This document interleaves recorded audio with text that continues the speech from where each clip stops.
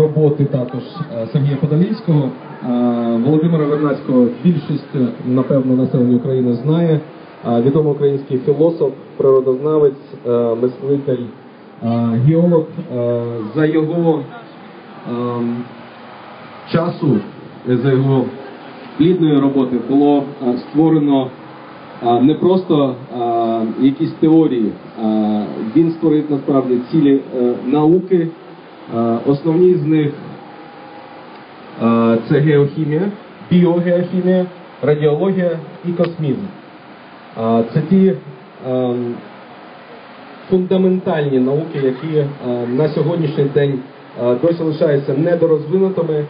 Е, Хоча е, насправді я говорив е, сам е, Володимир Вернацький, все, що е, видобувається е, населенням планети людьми на сьогоднішній день в плані е, геологічної розвитки.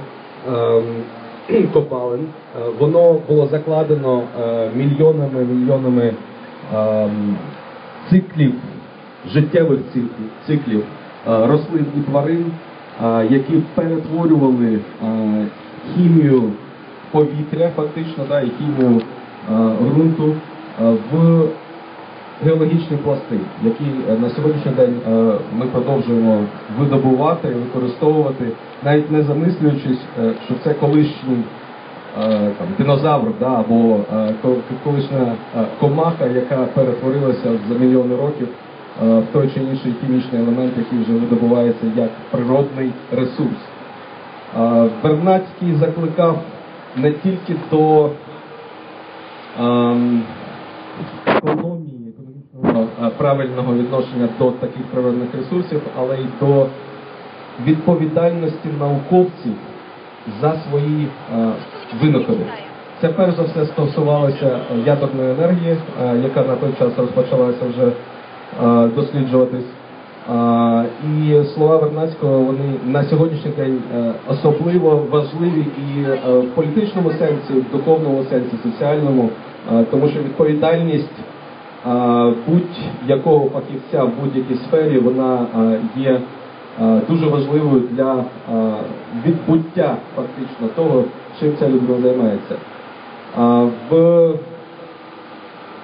першій половині ХХ століття, коли написав свої основні роботи Володимир Вернацький, Біосфера і ноосфера, вже існувало достатньо наукової думки і достатньо наукових знань, щоб говорити про глибокий рівень такої відповідальності людей перед всім суспільством.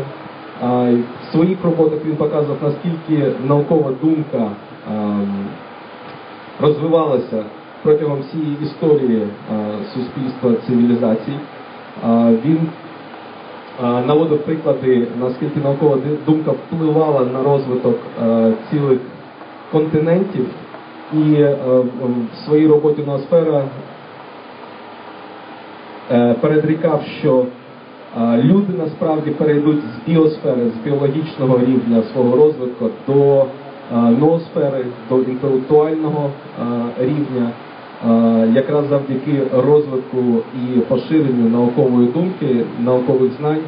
Е, Він фактично передбачав те, що відбувається на сьогодні з розвитком інтернету, е, з е, поширенням більш активним інформації наукових знань.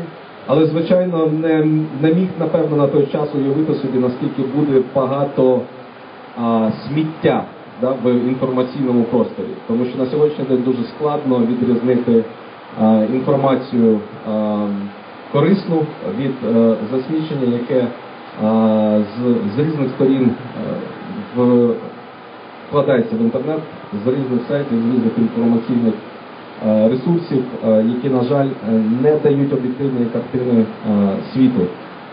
Про цю об'єктивну картину світу якраз писав Володимир Вернадський в своїх роботах. Біосфера, ноосфера.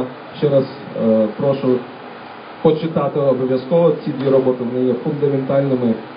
В принципі, для будь-якої іншої науки, для, для будь- будь-якого науковця, Ілля Мєчников, е, який в цьому е, переліку, принаймні, да, от, який я сьогодні підготував, е, є єдиним з Нобелівських лауреатів. з українських вчених. Він не тільки український, звичайно, він російський і французький вчений. Народився на Харківщині, а помер в Парижі. І, в принципі, багато французів вважають Ілью Мєчникова саме французьким науковцем, Е, тому що багато е, своєї наукової діяльності він е, якраз у Франції проводив. Свого часу просто треба розуміти, що свого часу він переїхав з Російської імперії за кордон до Італії, потім до Франції, якраз через ту стагнацію, навіть реакцію там, да, і корупцію в освіті Російської імперії е, второї половини, другої половини е, 19 століття. Е, Він був абсолютним генієм в тому, що він робив, але як е, будь-який геній був е, досить непростою людиною. Він не мав е, дітей, таких приклад, тому що вважав, що ем, е, як він казав, е, є злочинним е, сприяти появі на світ собі подібних. Що саме він мав на увазі, на той час треба розуміти, соціальне напруження було досить високим, і він е, десь розчарований був в е, людях як е, істотах мислячих, які не можуть порозумітися в простих питаннях, не можуть знайти спільної якоїсь ідеї, яка б їх об'єднувала для розвитку саме прогресивних наукових думок. Е, Він винайшов основний е, один з двох да, основних видів е, е, не видів теорії імунітету, за що й отримав Нобелівську премію е, в 1908 році. Е, Саме це була клітинна теорія імунітету або е, фаоцитарна. Е, На рівні побутовому е, багато говорив е, про імунітет, е, який для нас там для всіх буде вже сьогодні зрозумілий е, на рівні споживання продукції, е, здорової продукції. І він казав, що, наприклад, кисломолочні продукти, такі кефір да, або йогурт на сьогоднішній день, вони можуть продовжити життя людини на багато-багато років. Ця теорія да, ці твердження на сьогоднішній день є підтвердженими, тому що вже ми знаємо, що більшість імунітету, про який говорив Мечников, якраз знаходиться в е, е, тій частині людського організму, яка я в кишечнику абсолютно да, де якраз відбувається розвиток мікроорганізмів, які е, впливають на е, посилення е, імунної системи е, людського організму. Час е, життя Ілля Мєчникова 1845 по 1916 рік. Наступний за нашою хронологією Віктор Глушков, е, народжений е, в 1923 році, помер в 1982 Піонер комп'ютерної техніки, кібернетик, е, відомий в усьому світі математик, ініціатор, організатор, організатор програмно-технічних комплексів для інформатизації, комп'ютеризації і автоматизації господарчих, оборонних потреб країни. Це фактично е, е, людина, яка створила систему ERP на сьогоднішній день е, більш відомі під брендами SAP або Oracle.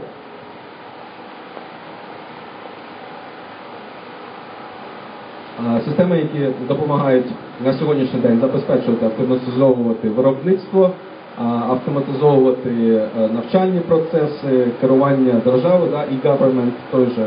Це все е, в принципі на е, вже 80-ті, на 70-ті навіть роки було започатковано саме Віктором Глушковим.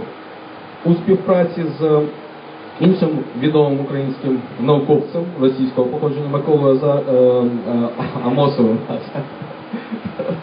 Зараз вже і тут за- забрався цей перелік. Ні, а зараз не науковець. Е, Микола Амосов. Е, Микола Амосов е, разом із Віктором Глушковим працював в тому числі над дослідженням і створенням штучного інтелекту. Але, на жаль, через смерть Віктора Глушкова у 82-му році ця робота була припинена. Треба відмітити також, що е, робота Віктора Глушкова не була оцінена е, керівництвом Радянського Союзу, і фактично всі його ідеї не були використані, не були застосовані в народному господарстві на той час. Тобто е, науково е, розумово він випереджав на е, 20-30 років е, західних кібернетиків і е, фахівців з інформаційних технологій, але ці випередження ніяк не були застосовані практично. Як ви знаєте, це одна з найбільших проблем е, радянських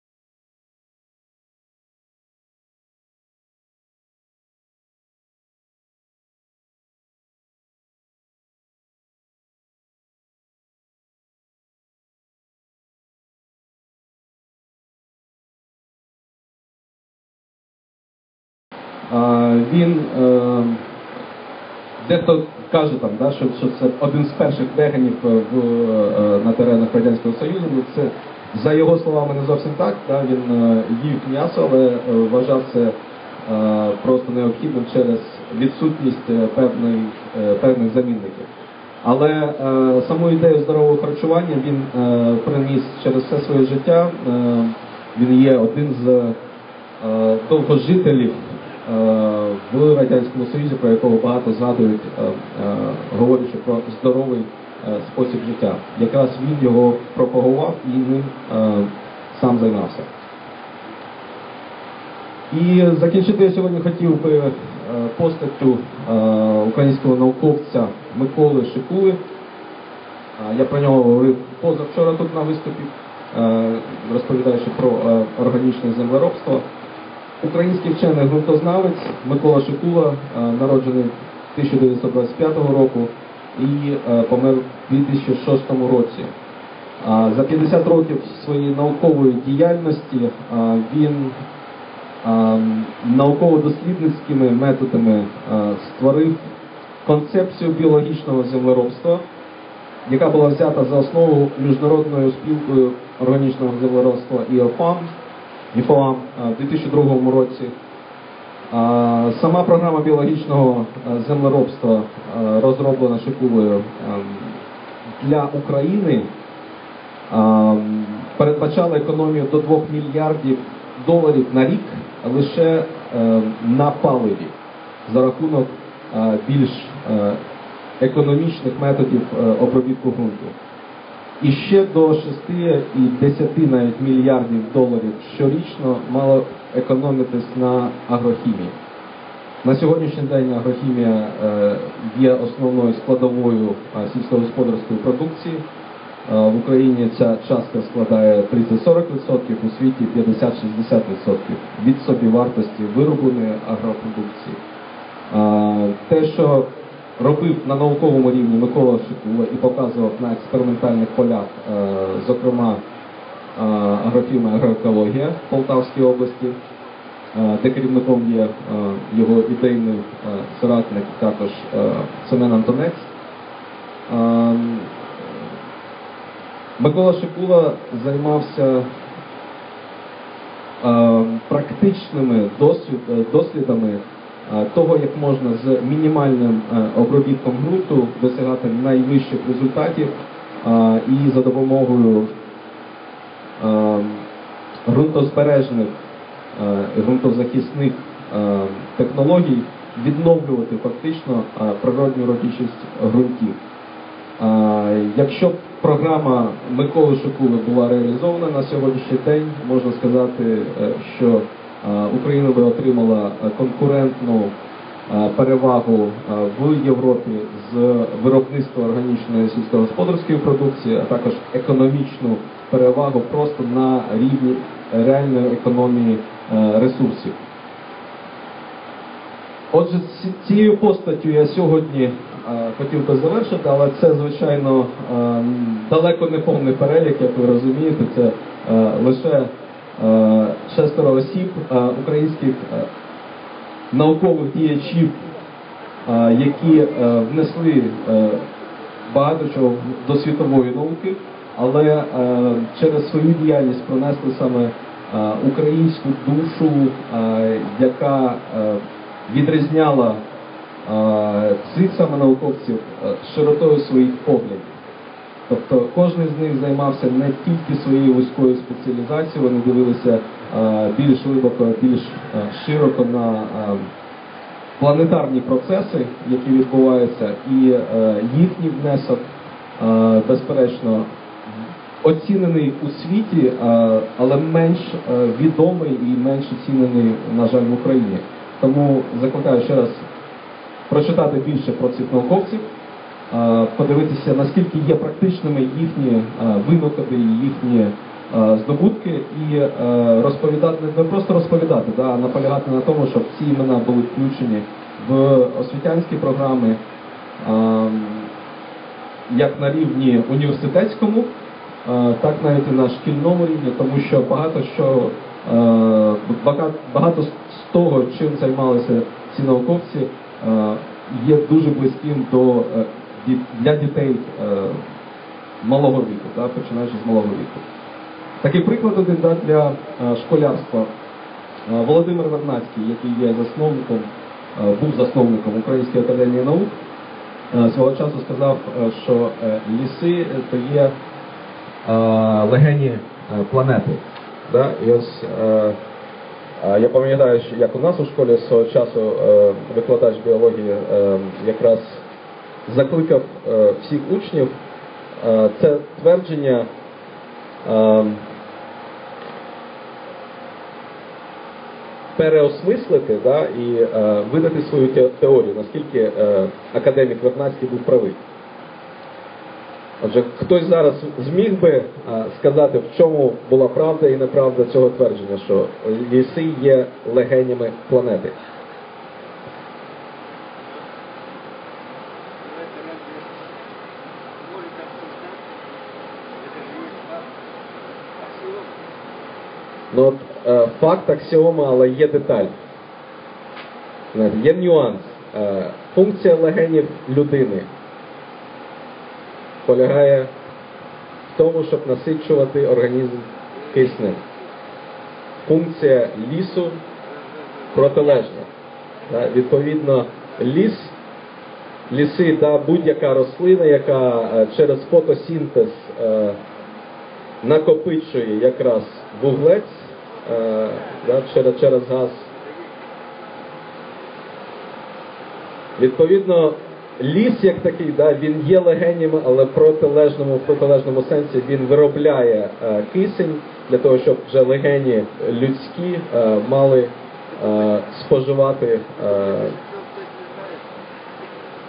ні, насправді, насправді цей нюанс, ви знаєте, от, е, нюанс, наскільки е, працює фотосинтез, наскільки працюють легені, да, він е, для багатьох є незрозумілим. Те, про що Вернадський пише в біосфері, коли е, розповідає про е, дві теорії, да, що е, все, що е, є в геології, да, всі, е, всі ці мінерали, які відкладені, е, добуваються на сьогоднішній день людьми, е, це є або перевтілений газ, або перевтілений, е, перевтілена косна речовина.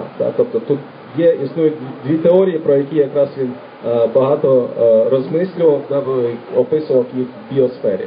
Тому тут, тут дуже важливо якраз придивлятися, які з варіантів все ж таки є більш е, правдивим.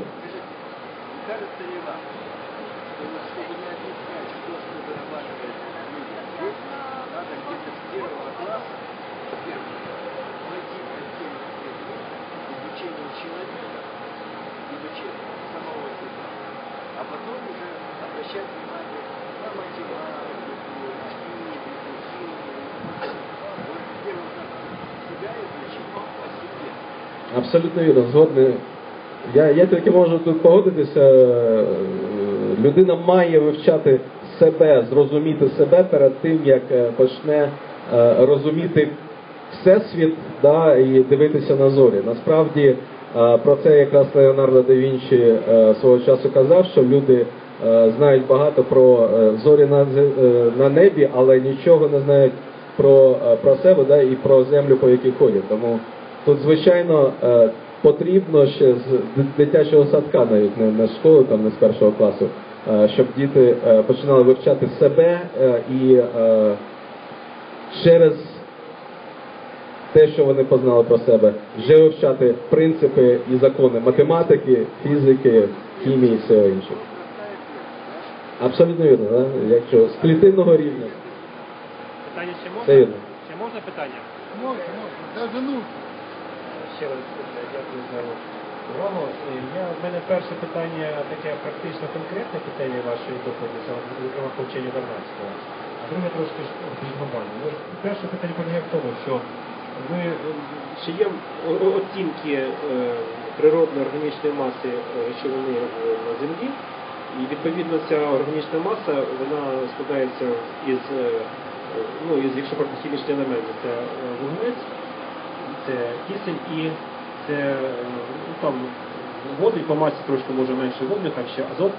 Так от е, ми бачимо, що кисню дуже багато в земній по- породі є. Е, Азоту ми теж бачимо дуже багато є в атмосфері. А вуглецю ми бачимо, що його досить мало в атмосфері, ну там менше 2%. То питання звучить так: от весь вуглець, який накопичений в нафті, в кам'яному вугіллі, в ма- в масі, органічній масі земної кулі, він існував е, в якому вигляді е, на планеті Земля до початку життя? Дякую. Ну, я, я, я не, був тоді, коли це все зароджувалось, правильно? Я не можу сказати і твердити. Е, Я можу лише е, сказати, що е, краще про це читати Вернадського і інші теорії, але Вернадський, як геолог за е, освітою, за, е, за своєю працею основною, да, за своєю основною роботою, е, як геолог стверджував, що весь той углець він в результаті перетворень. Е, спочатку бактерій, да, які не могли там синтезувати, перетворювати сонячну енергію, потім за допомогою фотосинтеза, за допомогою е, інших рівнів е, тварин, які вже переробляли е, рослини на, на іншому рівні, е, що все це пере, перетворений вуглець, який накопичився за мільйони, е, мільйони років, навіть мільярди, тому що з атмосфери або з от, от і тут питання, да, тому що я, я ще раз е, е, вже казав, да, ще, ще повторю, що е, Вернадський говорив про дві теорії, які існують. Що одні е, вважають, що все було створено з газів з атмосфери, да, і воно перетворилося вже на косну матерію. А інші вважають, що це перевтілення косної матерії з однієї форми в іншу. І тут, е, тут, тут багато, звичайно, може існувати суперечок, тому що ну, ніхто з нас не може стверджувати, якою саме була температура, да, яка, я- який склад е, повітря, які, е, е, який склад там, води, всього іншого. Тому що на сьогоднішній день ми маємо, ми маємо досить обмежену інформацію е, за той період історичний, коли велися взагалі якісь дослідження записи. Друге питання він глобальне. Е, Ви розповіли про шість історичних е, постатей вчених, які походять з України. І ви назвали дуже цікаво вашу лекцію як українська душа в науці. Е, Ну, ми можемо сказати так, що сучасна наука, звичайно, за наскільки я пам'ятаю, за 7 років чи на 10 років подвоює кількість е, інформації, тобто, грубо кажучи, е, останні 30 років це там 100 разів більше, ніж попередні там тисячі років розвитку науки. З іншого боку, людина не змінюється за ці тисячі років. Тобто ті якісь е, інтуїції, ті духовно, я б сказав би, духовно інтуїтивні проникнення, всягнення сущого, які існували протягом історії людства, вони відображаються в культурі кожного народу. Тобто кожна на- на- культура це є певний аспект цього осягнення сущого. І в цьому реалі в цьому плані українська культура має свою власну ідентичність. Тобто вона є неповторною і в чомусь унікальною, чомусь відображає все багатоманітність нашого світу, нашої людської цивілізації.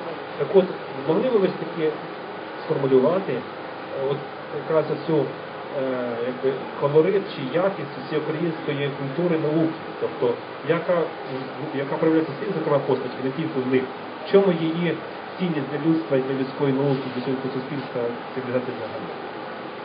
Дякую. Е, Ну, я б, звичайно, тут проводив паралелі з трипільською культурою, перш за все, да, тому що трипілля якраз показала важливість духовного розвитку людини. А, і саме такий акцент, можна сказати, ставився за багато е, поколінь на розвитку е, української свідомості українського суспільства. Те, що ми бачимо сьогодні, те, що відбувається на Майдані, да, без безсиловий е, саме мирний протест є якраз наслідком е, тих е, цивілізаційних надбань, які українські народності можна сказати, тому що це не, не, не, одні якісь люди. Да? Якщо говорити про тих трипільців, це тільки одна група, були і інші. Але ці народності, які сформували саме миролюбний е, е, такий формат відносин на, на цій землі, на цих теренах. Це виникло тільки у рільників. У рільників це виникло, розумієте? От. Бо були збиральники, це ті, що збирали дари природи, так? Вони, е, от, потім вони е, почалися в ватагі, зграї такі збиратися, вони нападали, вони грабували. Це, значить, одна е, лінія поведінки. А рільники вони мали зовсім іншу. Тобто це люди, це та е, спільнота, яка опинилася найбільш найбільш е, благородних е, землях. Так? І тому і в них, в них е, з'явилася можливість від Бога це дана така.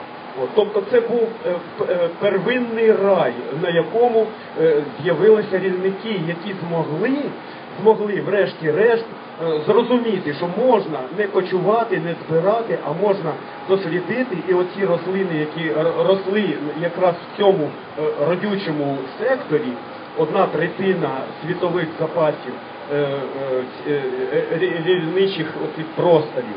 Вони пізніше стали рільничими. І оце тому отут найперша осідла цивілізація виникла е, на планеті Земля. Земля. І не, і не випадково вона виникла якраз в самісінькому центрі Європи. І, власно кажучи, е, європейська цивілізація, технологічна, сучасна, це є продовження початку отієї рільничої. Це найперші збиральники, які осіли, і тільки е, в- тільки у осідлій культурі могли з'явитися всі технологічні надбання.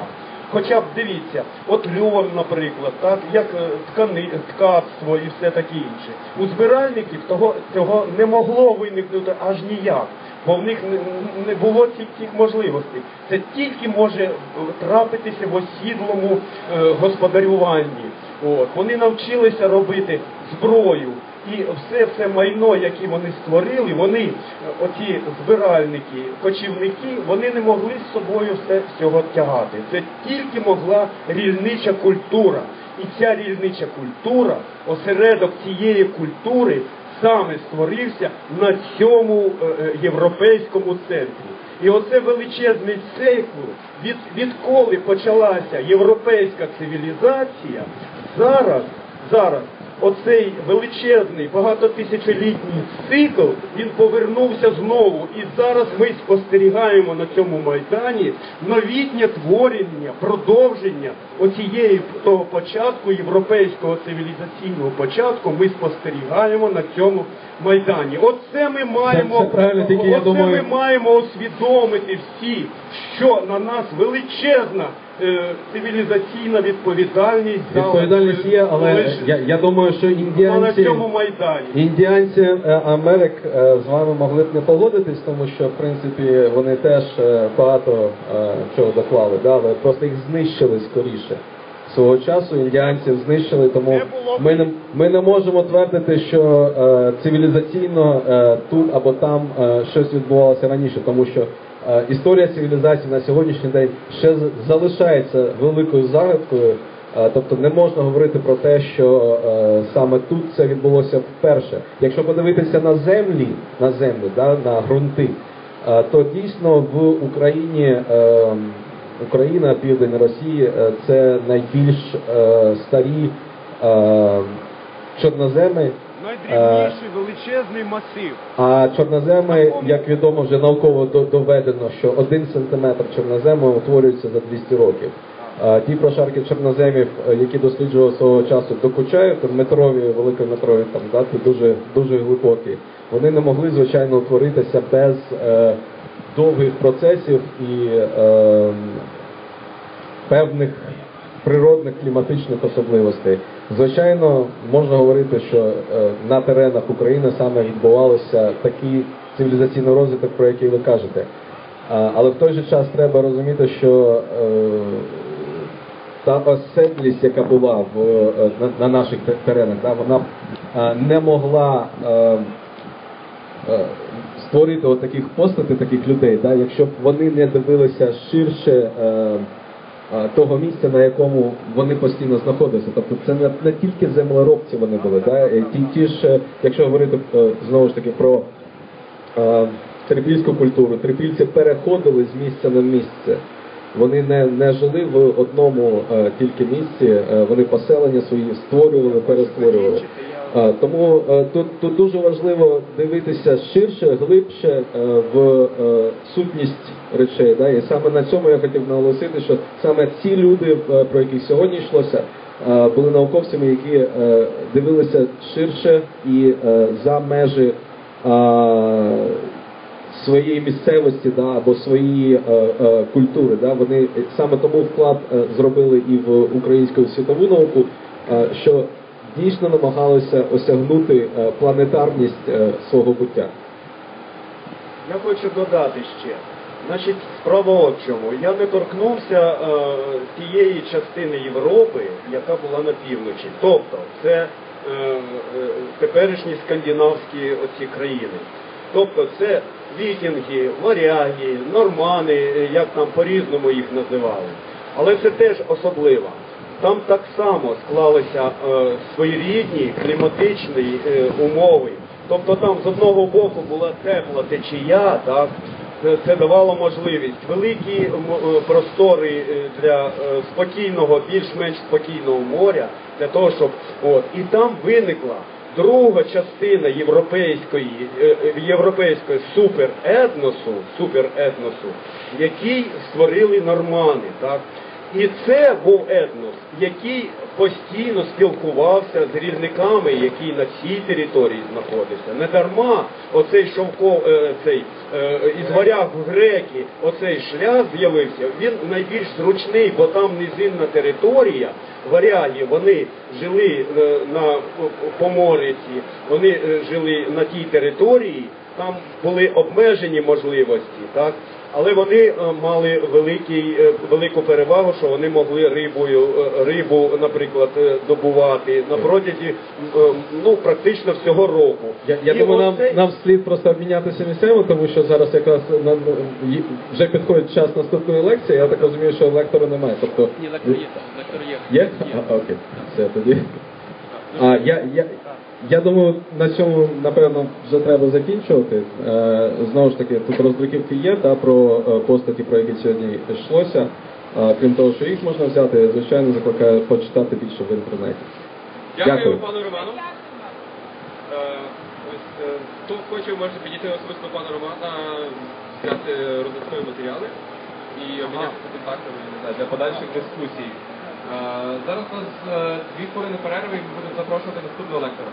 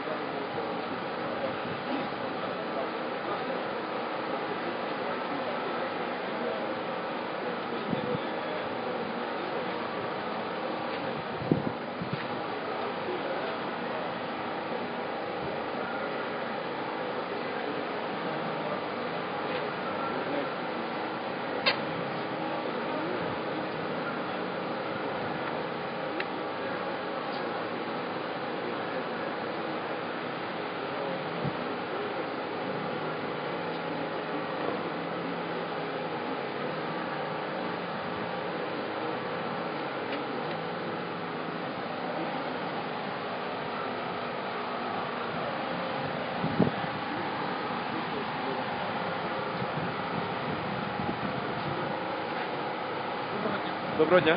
А можна запитати, чи можна якось записати на, виступ? Е, записати спікером чи записати слухачем? Ну, спікер. Спікер свою думку так. Так, без проблем. Давайте ви зачекаєте кілька хвилин, зараз приїде Світлана, вона в мене. буде. Я пропоную так. Ось. Добре. Е, я не знаю.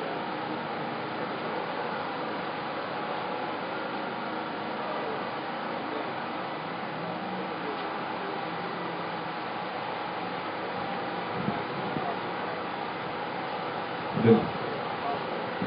Один, один. Доброго дня знову. Вас вітає відкритий університет Майдану. І е, наступну лекцію читатиме для вас Олексій Геращенко, викладач Києво-Могилянської бізнес-школи. Е, тема лекції персональні фінанси. Е, Всім доброго дня.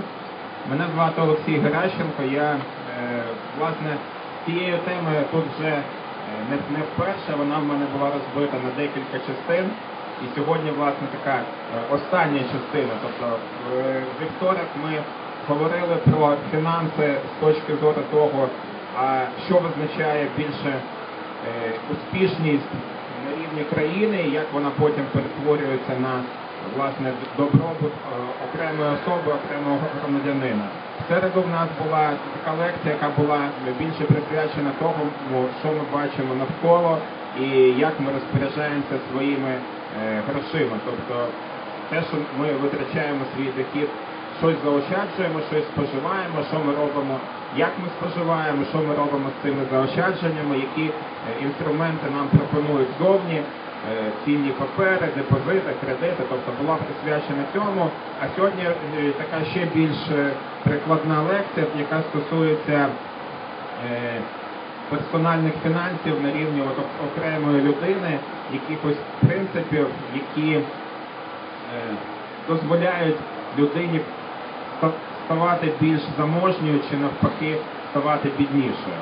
Ну і власне е, перша моя частина, про що ми будемо говорити, про те, е, які взагалі принципи людей, які стають успішними фінансово, е, чим це відрізняється від того, що може е, супроводжує життя кожного з нас, про те, наскільки е, великий вплив наш досвід вчиняє на нас, тобто наскільки наші майбутні рішення і наше життя, наскільки воно, воно е, є узалежненим від того, якими ми були вчора чи якими ми є сьогодні. Ну і власне певні, можливо, практичні поради, які стосуються цієї теми. Ну, а власне, е, буде невеличка лекція, далі ми будемо, е, ви можете задавати питання, причому, як е, показує практика, питання задаються будь-які, ну і власне я відповідаю на будь-які питання, тому що про яку б тему ти не говорив, якщо ти знаходишся десь тут на Майдані, то дуже важко уникнути питання, яке так чи інакше не, не буде приводити сюди саме. Ну і власне почну з такого, може, питання до вас. Е, Хто з вас читав таку книжку, яка називається Багатий тато, бідний тато? От, є тут декілька людей, дуже дякую, що ви її прочитали. А всі решта ви бачите, що є, оскільки є люди, які її читали, е, от, і я про неї згадав, а більшість не читала, то е, раджу на неї звернути увагу. Книжка неоднозначна, книжка знову ж таки, яка може викликати певний іноді навіть п- протест, але в йдеться про те, що е, фактично е, це художня книжка, але вона написана не для фахівців, не для економістів, а для людини, яка може з цією галузю успішно е, працювати самостійно. От. І це досить часто вдається, тобто ми іноді вважаємо, що людям потрібні якісь ну, обов'язкові спеціальні знання для того, щоб досягти фінансового успіху. Знову ж таки, це досить часто ну, зовсім не так. Іноді людині важливо повірити в свої сили. Е, От я просто е, не- не веду вам приклад свій, який я побачив буквально вчора.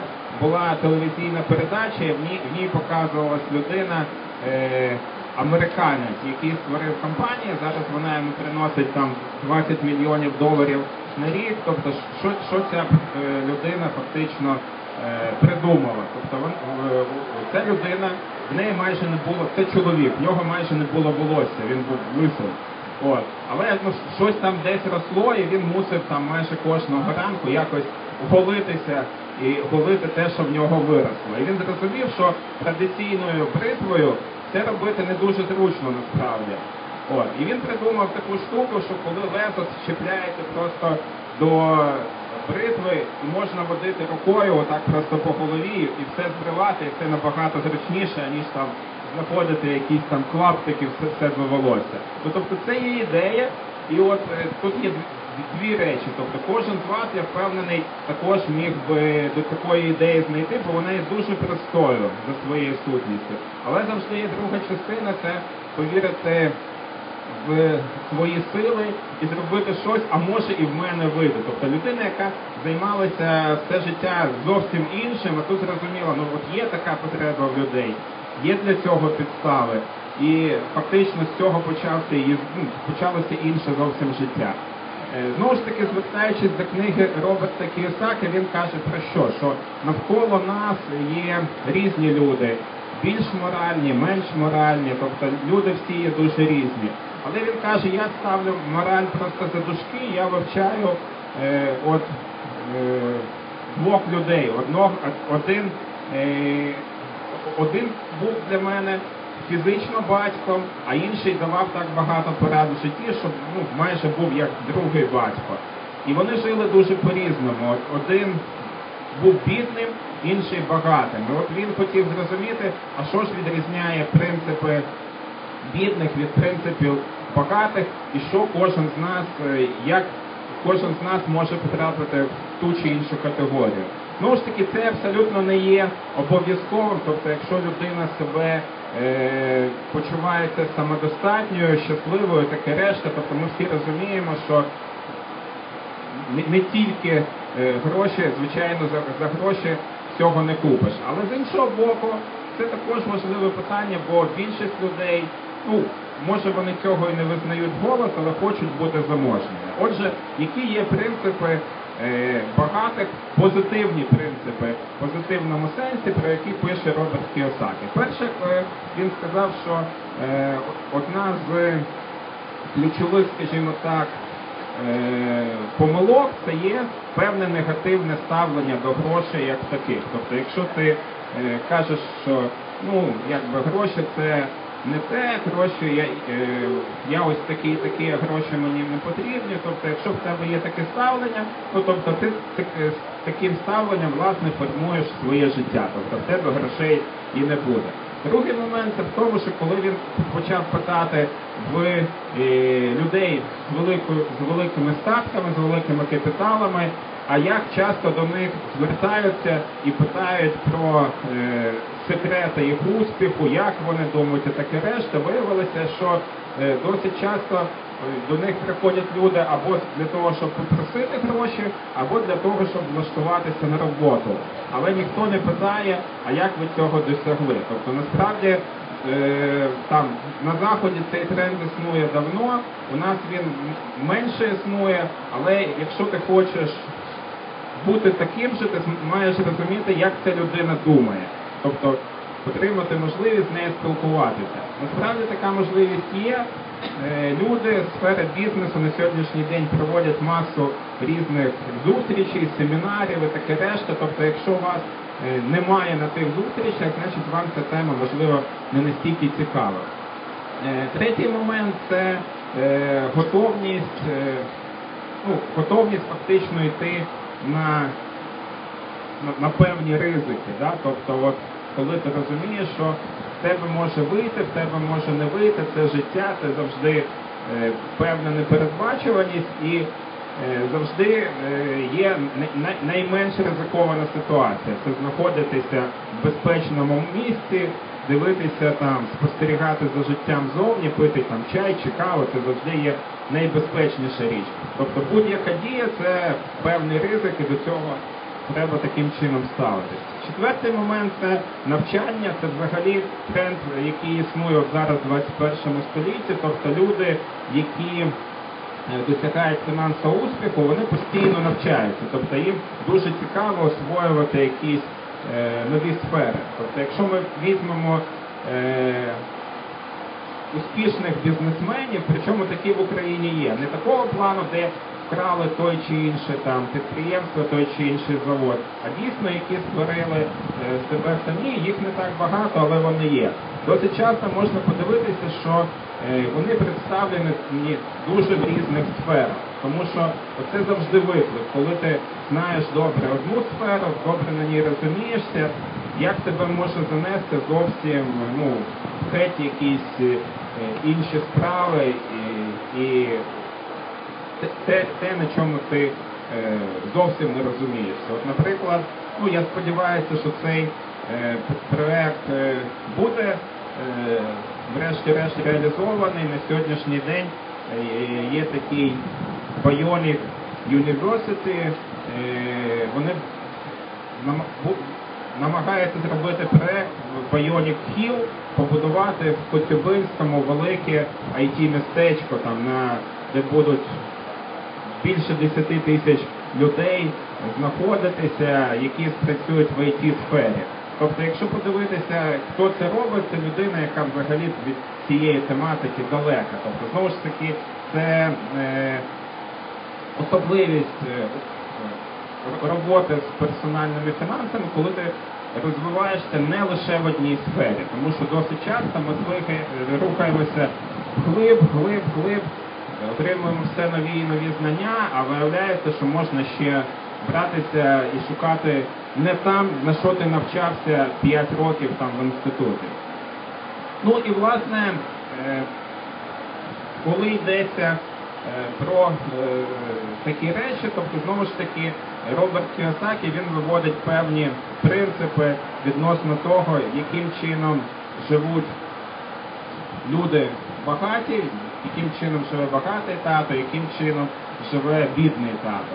Це їх ставлення до так званих активів і пасивів. Тобто активи це все те, що приносить нам кошти, а е, пасиви це те, що забирає. Тобто за інших рівних е, е, умов е, от принципи багатої людини в тому, що якщо в тебе вивільнилися якісь там кошти, якщо ти зробив заощадження, то е, за Робертом Кіосакі питання в тому, куди ти їх, спрямував. Якщо ти для себе купив, наприклад, новий автомобіль, то за тим же Кіосакі цей підхід більше характерний не для багатої людини, а для бідної. Чому? Тому що автомобіль, якщо це він власний твій, він дешевше, він потребує там певних витрат, там страхування, е, витрат додаткових на паливо і таке решта. Тобто цей підхід е, створення не активів, а пасивів, тобто чогось, що буде витрачати е, ще більше грошей.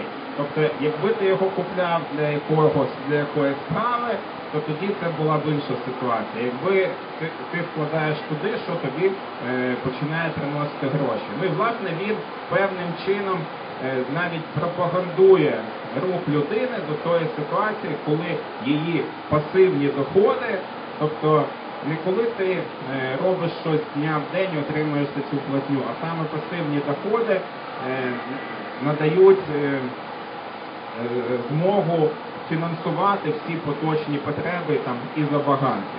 Тобто, знову ж таки, це за, за певною межею моральності. Він каже, що з точки зору його бідного тата це є аморальним. Чому? Тому що ти е, створюєш ситуацію, яка тобі дозволяє працювати менше. Але з точки зору е, якби того, якщо ти дійсно хочеш стати фінансово більш заможним, то ти маєш рухатися саме таким шляхом. Е, Створювати для себе пасивні доходи. Тобто те, що стосується там оренди нерухомості твоєї, там отримання певних е, доходів від того, що ти береш участь в якихось справах, і таке решта, і таке решта. Е, Це певна, певна філософія, до якої можна по-різному ставитися. Що нас більше за все стримує досить часто, е, в тому, щоб переключитися із життя за одним сценарієм до, життя за е, іншим сценарієм. Тобто нас досить часто стримує е, наш досвід. Тобто люди фактично з одного боку ми завжди кажемо про досвід як про щось позитивне.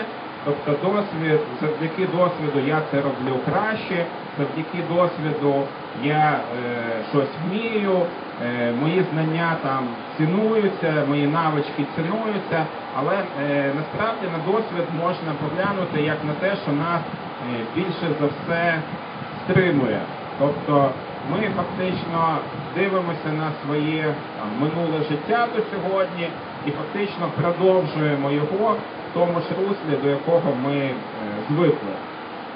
Відповідно, ну, е, знову ж таки, як, як досвід обманює людей? Тобто я от зараз напишу певний ряд цифр. От є, є цифри 2, 4, 6, 8. Яка має бути наступна цифра? Як ви думаєте? 10 кажуть. Добре. А е, ще наступна? 12. От е, і, і, так, і, і так далі, скажімо так. Але е, е, виходить, якщо дивитися на такі речі, і от якщо повірити в своєму житті так само от такий от тренд, воно може рухатися лише в одному напрямку. І часто люди ну, ми бачимо це і на ринках, що люди досить часто помиляються. Чому? Тому що, наприклад, коли ти бачиш, що щось дорожче, дорожче, дорожче, ну як у нас було, наприклад, там з нерухомістю. Нерухомість дорожчала, дорожчала, дорожчала, і всі вірили, що вона буде дорожчати і далі. Тобто всі фактично цей тренд продовжували. Якщо щось дешевше, то так само вірять, що воно буде постійно дешевшити. Насправді життя таке, що е, воно е, вносить е, певну сум'ятицю в будь-який тренд, який ми придумали, і це ну, може по нас е, ну, вбити дуже сильно, тому що і історія, е, і життя, воно може рухатися стрімкоподібно. Тобто, якщо е, хто б міг подумати, що от зараз, там два місяці назад, якщо намалювати картину, що ми з вами стоїмо тут в центрі Києва, навколо нас барикади, сцена і таке решта, тобто жодних трендів цього не слідувало. Тобто, відповідно, трендам треба перестати вірити, в тому числі трендам е, свого життя. Е, якщо ти е,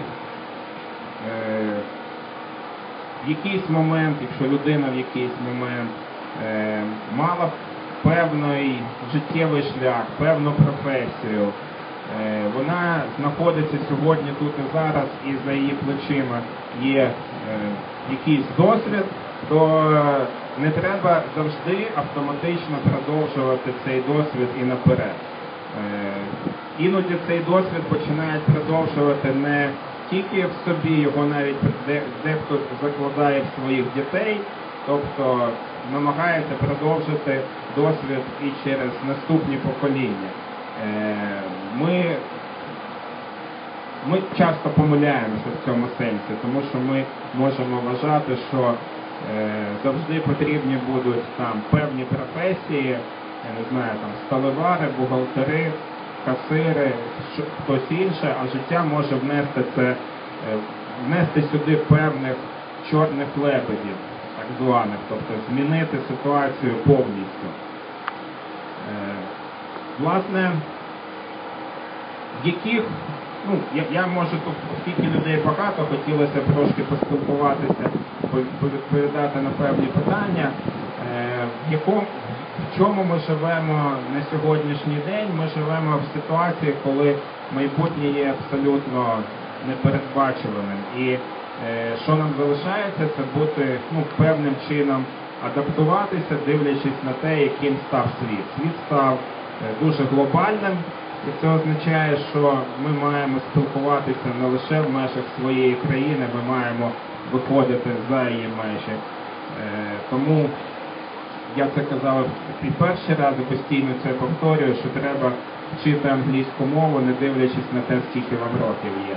світ став дуже е, віртуалізованим в тому сенсі, що дуже багато речей робиться завдяки інтернету, комп'ютерним технологіям, і треба їх знати. Е, Світ став таким, що цілі ряди професій вони можуть досить швидко е, зникати. І якщо ви маєте певний фах, маєте певну спеціальність, це е, абсолютно не факт, що через 20-30 років це буде комусь потрібно, тому ви маєте вчитися чомусь ще, навіть просто привчати себе, е, освоювати нові напрямки, нові галузі. Тому що коли з'являється нова професія, тут не треба боятися, в ній немає жодного фахівця зазвичай. Тобто люди шукають, тренуються і тут е, можна бути е, одним з них. І, е, власне, не треба сподіватися на свій досвід, треба е, шукати в собі нові знання. Ну а стосовно книжки е, Багатий тато, бідний тато, я знову ж таки пораджую її прочитати всім.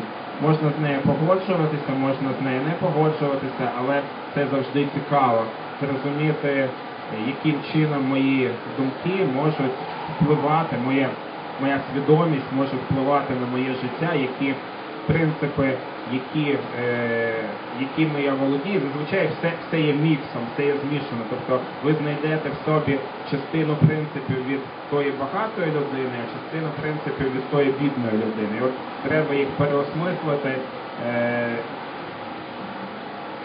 чому я думаю так, що насправді мене спонукає так думати. Ну, власне, я на цьому хотів би е, перерватися, дати можливість вам задати там ті чи інші запитання, будь-які бажано стосовно фінансової економіки.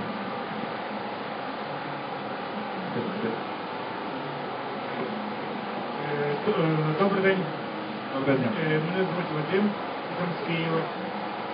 Е, Річ тому, що в мене таке питання. А якщо людина в якійсь мірі е, ну, унії бюджету, кинуться таке інше, як вона, як вона може виходити із тієї фінансової ситуації, яка вона знаходиться на своїй Як може людина виходити з тієї чи іншої фінансової ситуації, якщо вона сама себе туди загнала? Е, Якщо людина сама себе загнала в ту чи іншу фінансову ситуацію, як вона може е, виходити? Ну, тут треба е, зрозуміти, що І додати, додати верніше, прошу, що якщо у людини, наприклад, ну, подивитися, це зрозуміло, але якщо людина е, не є бізнесменом, належить до держави бізнес. якщо людина не є бізнесменом, тобто і е, ну дивіться, по-перше, е, те, те, що я сказав, що е, ну я, я наводив на самому початку приклад, як е, е, людина може іноді навіть е, несподівано для себе стати бізнесменом, і от е, цей от досвід я, я не бізнесмен, я інший, ну його принаймні треба пробувати ставити під сумнів. Іноді бізнесмени з'являються не тому, що вони десь там е, добре навчалися чи е, щось вміють. Тобто часто просто людина е, обирає, що робити із своїми талантами. Тобто людина, яка гарно, я не знаю, е, е, пече, випікає якісь там пироги чи печиво, це ж її власний вибір, чи то їй працювати на кондитерській фабриці, чи е, пробувати е, продавати своє печиво самостійно. Тобто, може вона жодного разу не пробувала, іноді не треба йти навіть з основної своєї роботи для того, щоб просто робити ну, певні рухи в цей бік. Ну, е, на сьогоднішній день для цього є досить багато можливостей. Е, Я знаю, наприклад, ну, навіть в тому прикладі, який я навів, тобто проводяться ярмарки, проводяться там е, такі речі, як ресторан одного дня, який дає можливість, ну, не обов'язково в тій сфері, так само в іншій, людині просто себе спробувати, не маючи там великого ризику, чи там закривати для себе всі шляхи, там йти з роботи і таке інше.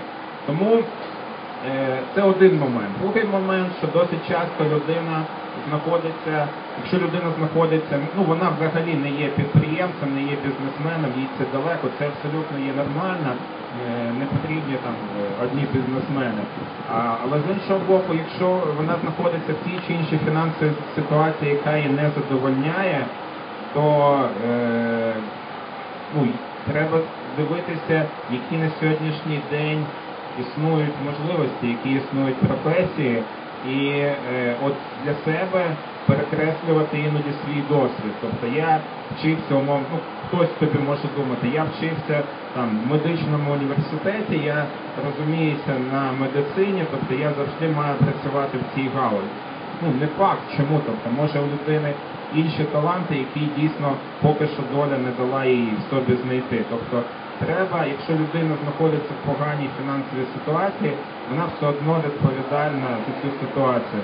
Вона е, може або просто чекати, що на неї ну, ситуація сама зміниться собою, і раптом та чи інша професія стане знов популярною, що частіше за все, за все не відбувається, або пробувати якісь інші варіанти. Це дуже важко психологічно починати щось з нуля, але так само треба пробувати. Спочатку з мінімальним ризиком виділяти якийсь один день замість вихідного, там десь іти працювати, потім розуміти, чи це твоє, чи це не твоє. Ну, от загаль, загальний рух десь такий. Добрий день, я Ігор. Е, Відомо, що економічні інструменти і важелі є серйозна зброя в світі, так? Е, Економіка взагалі це Економіка є зброєю, так? так, економіка це є зброя. Е, Чи є у вас поради, як ми можемо використати економіку сьогодні у нас, в нашій революційній ситуації, на користь нам? Е, От е, з вашим е, колегою, з вашим сусідом, з чоловіком, з яким ви поруч стоїте, ми перед лекцією стали обговорювати питання, яке стосується. Ми стояли і до мене підійшли і дали список тих товарів, які не потрібно купувати, тому що вони належать ну, тим чи іншим там провладним депутатам. От е, я скажу чесно, тобто, ну, з точки зору е, емоційної, може це ну, виглядає правильно. З точки зору е, раціональної, я, наприклад, в цьому сумніваюся. Ну, тобто це є з одного боку зброєю, а з іншого е, боку, я думаю, а хто від е, цієї зброї постраждає. Тобто, якщо ми перестанемо купувати той чи інший продукт, чи е, постраждає більше той, проти кого ця дія нібито направлена, чи постраждають, е, на- наприклад, е, ті е, працівники, які будуть скорочені, які е, ну, їх скоротять чому? Тобто зменшились продажі, треба зменшувати витрати. Тобто так думає бізнесмен. Да? Тобто він підприємець, він думає, окей, в мене продажі зменшилися, я маю якимось чином тепер до цих зменшених продажів змінити свою структуру. Постраждають знову ж таки не ті люди, проти яких це нібито безпосередньо спрямовано, тому я не- думаю, що це є ефективно. Тобто це є дуже нібито емоційно, але я, я сумніваюся в тому, що це є ефективно. Стосовно ж економіки зброї, е, знову ж таки, е, може там е, нам би хотілося, щоб е, були заблоковані, там як часто пишуть, заблоковані якісь е, рахунки, і цей, цей тиск економічний е, відчули, ну, відчули ті, кому ці рахунки належать. От тут також досить складна ситуація. Чому? Тому що якщо ці рахунки знаходяться десь там, навіть і на заході, е, це не, не, не так просто ну, якби, е, здійснити. Чому? Тому що е, з точки зору того, хто обслуговує їх рахунки, в них на першому місці стоїть е, повага до власності, до приватної власності. І я, наприклад, дуже великий сумнів маю, що хтось там заради політичних е, причин е, це використає. Я чомусь е, думаю щодо економічних питань, що от коли дають такий список, то добре дати альтернативу. Да? Тобто, ну, е, не, не, не купуйте там таку продукцію, але купуйте ось таку, да? інакше ну якось е, аж інакше не, не дається е, альтернативи. Щодо сьогоднішньої ситуації, я вважаю, що е, питання ну, меншою мірою знаходиться в економічній площині. Я вам чесно скажу, може якісь можливості є використати економіку як зброю, але більшою мірою я думаю, що треба використовувати е, інші механізми. Інші механізми, е, якими ми діємо, може і зараз, але більш широко, е, більш ґрунтовно, і е, ніколи влада не є однорідною. Тобто завжди в ній так само знаходиться якась слабталанка. Ну, якось так відповідь. Доброго дня. Е, Мене звуть Арсен, я з Львова. Е, Питання е, таке трохи більш загальне. Відомо, що сучасне, сучасне поняття грошей дуже сильно асоційоване з поняттям боргу. Тобто, Так, гроші мають фактично верхову природу. Так. так, чи і це, і це має низку недоліків і низку глобальних е, не зовсім позитивних на- наслідків. Чи є альтернатива і яка? Е, Ну, е, я вважаю, що е, альтернативи альтернативи немає. Тобто, чому?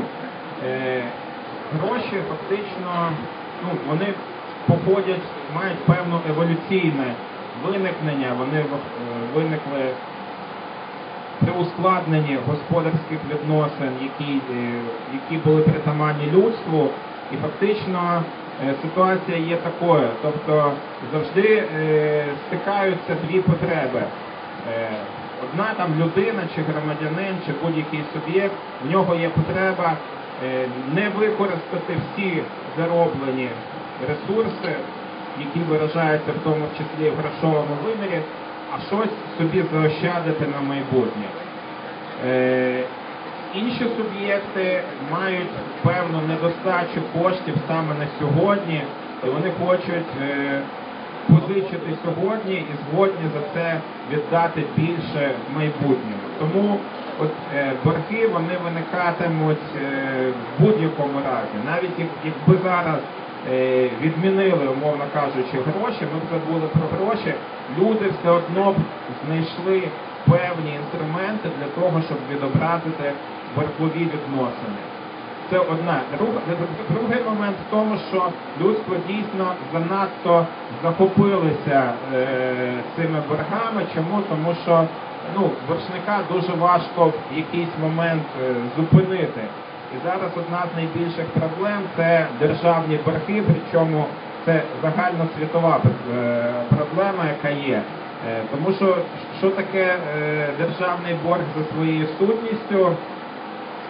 Ви поклали гроші на депозит, банк купив облігації державні, наприклад, а держава за ці кошти побудувала, наприклад, тут фонтан на Майдані Незалежності.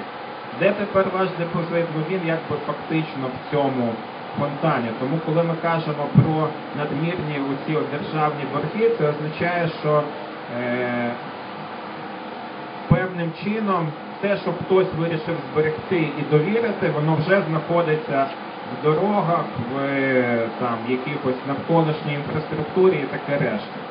Тобто, де ваші гроші, вони можливо там в тому чи іншому новому мості через, через Дніпро. Який з цього вихід? Е, ну фактично вихід завжди такий. Тобто, коли, коли ви перестаєте лізти в борги, коли ви е, починаєте жити за своїми власними ресурсами, тобто маєте бездефіцитний бюджет. Але це завжди дуже важко перейти з дефіцитного бюджету на бездефіцитний. Коли ми бачимо виступи не лише тут, а в Італії і Іспанії, італійці і іспанці, е, вони виходять на протести там в Євросоюзі. Фактично, е, що тут, які речі тут стикаються? Е, тобто ви, наприклад, заробляєте там тисячу гривень, а живете на 1100. Е, А потім вам кажуть, стоп, давайте, давайте будемо скільки заробляємо, настільки і жити. Ви маєте перейти з одного рівня на більш низький. Відповідно, це викликає незадоволення і в тому числі воно виражається в таких процесах. Тобто е, відмовитися від е, політики накопичення боргів е, це завжди дуже важко. Одразу два наступних запитання виникло. Запитання перше. Значить, ви одразу сказали, що, мабуть, не вдасться через те, що це не, не дати війти від політики асоціації грошей з боргами через те, що це еволюційна частина. І одразу згадалася аналогія з вашим переліком цифр. Чи не є це таким способом вганяння нас колію і ну, просто звичка робити речі старим чином? Це перше запитання. А друге, е, тут поруч зі мною здалося питання, чи є е, механізм дефолту альтернативою для, для нас зараз? Механізм дефолту, так? По-англійськи. Ну, дивіться, я по першому питанню, як я сказав, що е, ну, від цієї звички ну, відмовитися е, ну, практично, е, на мій погляд, неможливо, тому що, як, як я сказав, вона слідує з певної ну, з певної людської природи. Тобто, умовно кажучи, е, якщо ви, якщо б навіть не було грошей, були там, я не знаю, картопля і помідори. е, Ви в якомусь е, якийсь є період, коли у вас ваш врожай, його ну, занадто багато, да? тобто більше, ніж ви можете з'їсти. Тобто ви хочете частину відкласти, а, а якщо буде потім поганий врожай, то за рахунок цієї частини якось собі перекрити дефіцит. А в когось інша ситуація, йому сьогодні не вистачає, а завтра він буде мати надлишок. Оці от надлишки і дефіцити, вони внаслідок взаємодії навіть між людьми будуть призводити до боргових відносин. Стосовно дефолту, дефолт це дуже неприємна річ, і знову ж таки є е, нерозуміння певне, що таке дефолт. Е, Дефолт це е, от ми скількись там винні, це не означає, що ти перестаєш е, бути винним. Тобто, якщо ти скількись був винним, ти кажеш, о, у мене дефолт. Це не означає, що в тебе боргів стало ноль. У тебе всі борги залишилися. Все, що ти можеш зробити, це певним чином їх реструктуризувати. Тобто, от я не можу заплатити зараз, але я цей борг сплачу так-то, так-то і так-то. Е, чим, е, чим небезпечний дефолт? Тому що в будь-якій відмові від е, погашення боргів страждає дуже багато невинних. Чому? Тому що е, виходить е, ситуація наступна, що е, коли хтось один не зміг заплатити комусь другому, досить часто буває, що цей другий не зміг заплатити комусь третьому. Тобто, а цей третій, який нібито взагалі не мав стосунку до, до того боргу, він починає страждати. От 2008 рік банкрутує якийсь там банк Lehman Brothers в Сполучених Штатах, який ми до цього навіть не чули. Яке це нібито має відношення до України? Ну а виявилось, що має дуже дуже дуже велике. Тобто борги вони за- рахунок того, що вони по ланках, по якихось ланцюжках один винен іншому, то досить часто тут, як кажуть, метелик е, крилами зробив рух, а там на іншому кінці світу виникло цунамі. Ну, десь от такі е, метафори можна застосовуватися. Тобто дефолт він ну, дуже неприємний і небезпечний в цьому відношенні. Слава Україні! Героям слава. От е, наша тема персональні. Не знаю, яке це має ста- відношення до фінансів, але не Це привітання. Наша тема сьогодні персональні фінанси.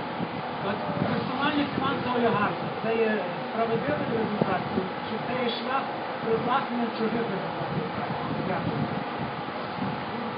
Е, ну, дивіться, я е, е, свого часу е, відносно справедливості скажу таким чином, що е, е, ситуація ну, якби досить часто буває якою.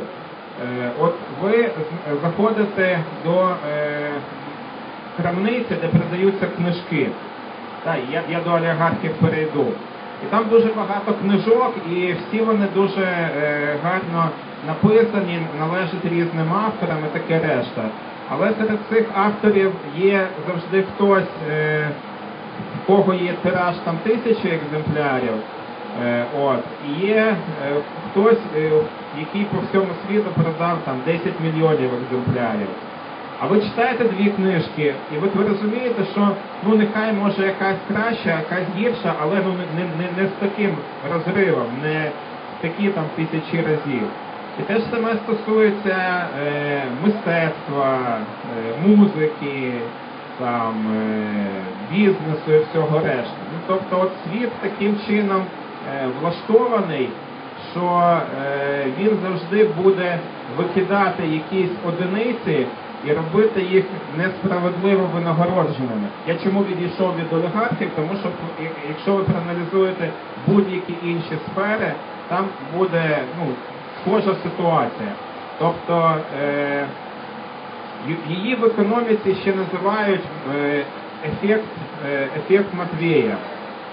В Євангелії від Матвія там є такий досить цікавий вірш, де він де, там написано, що той, хто має багато, йому надасться ще більше, а той, хто має мало, він втратить і, і те мале, що має.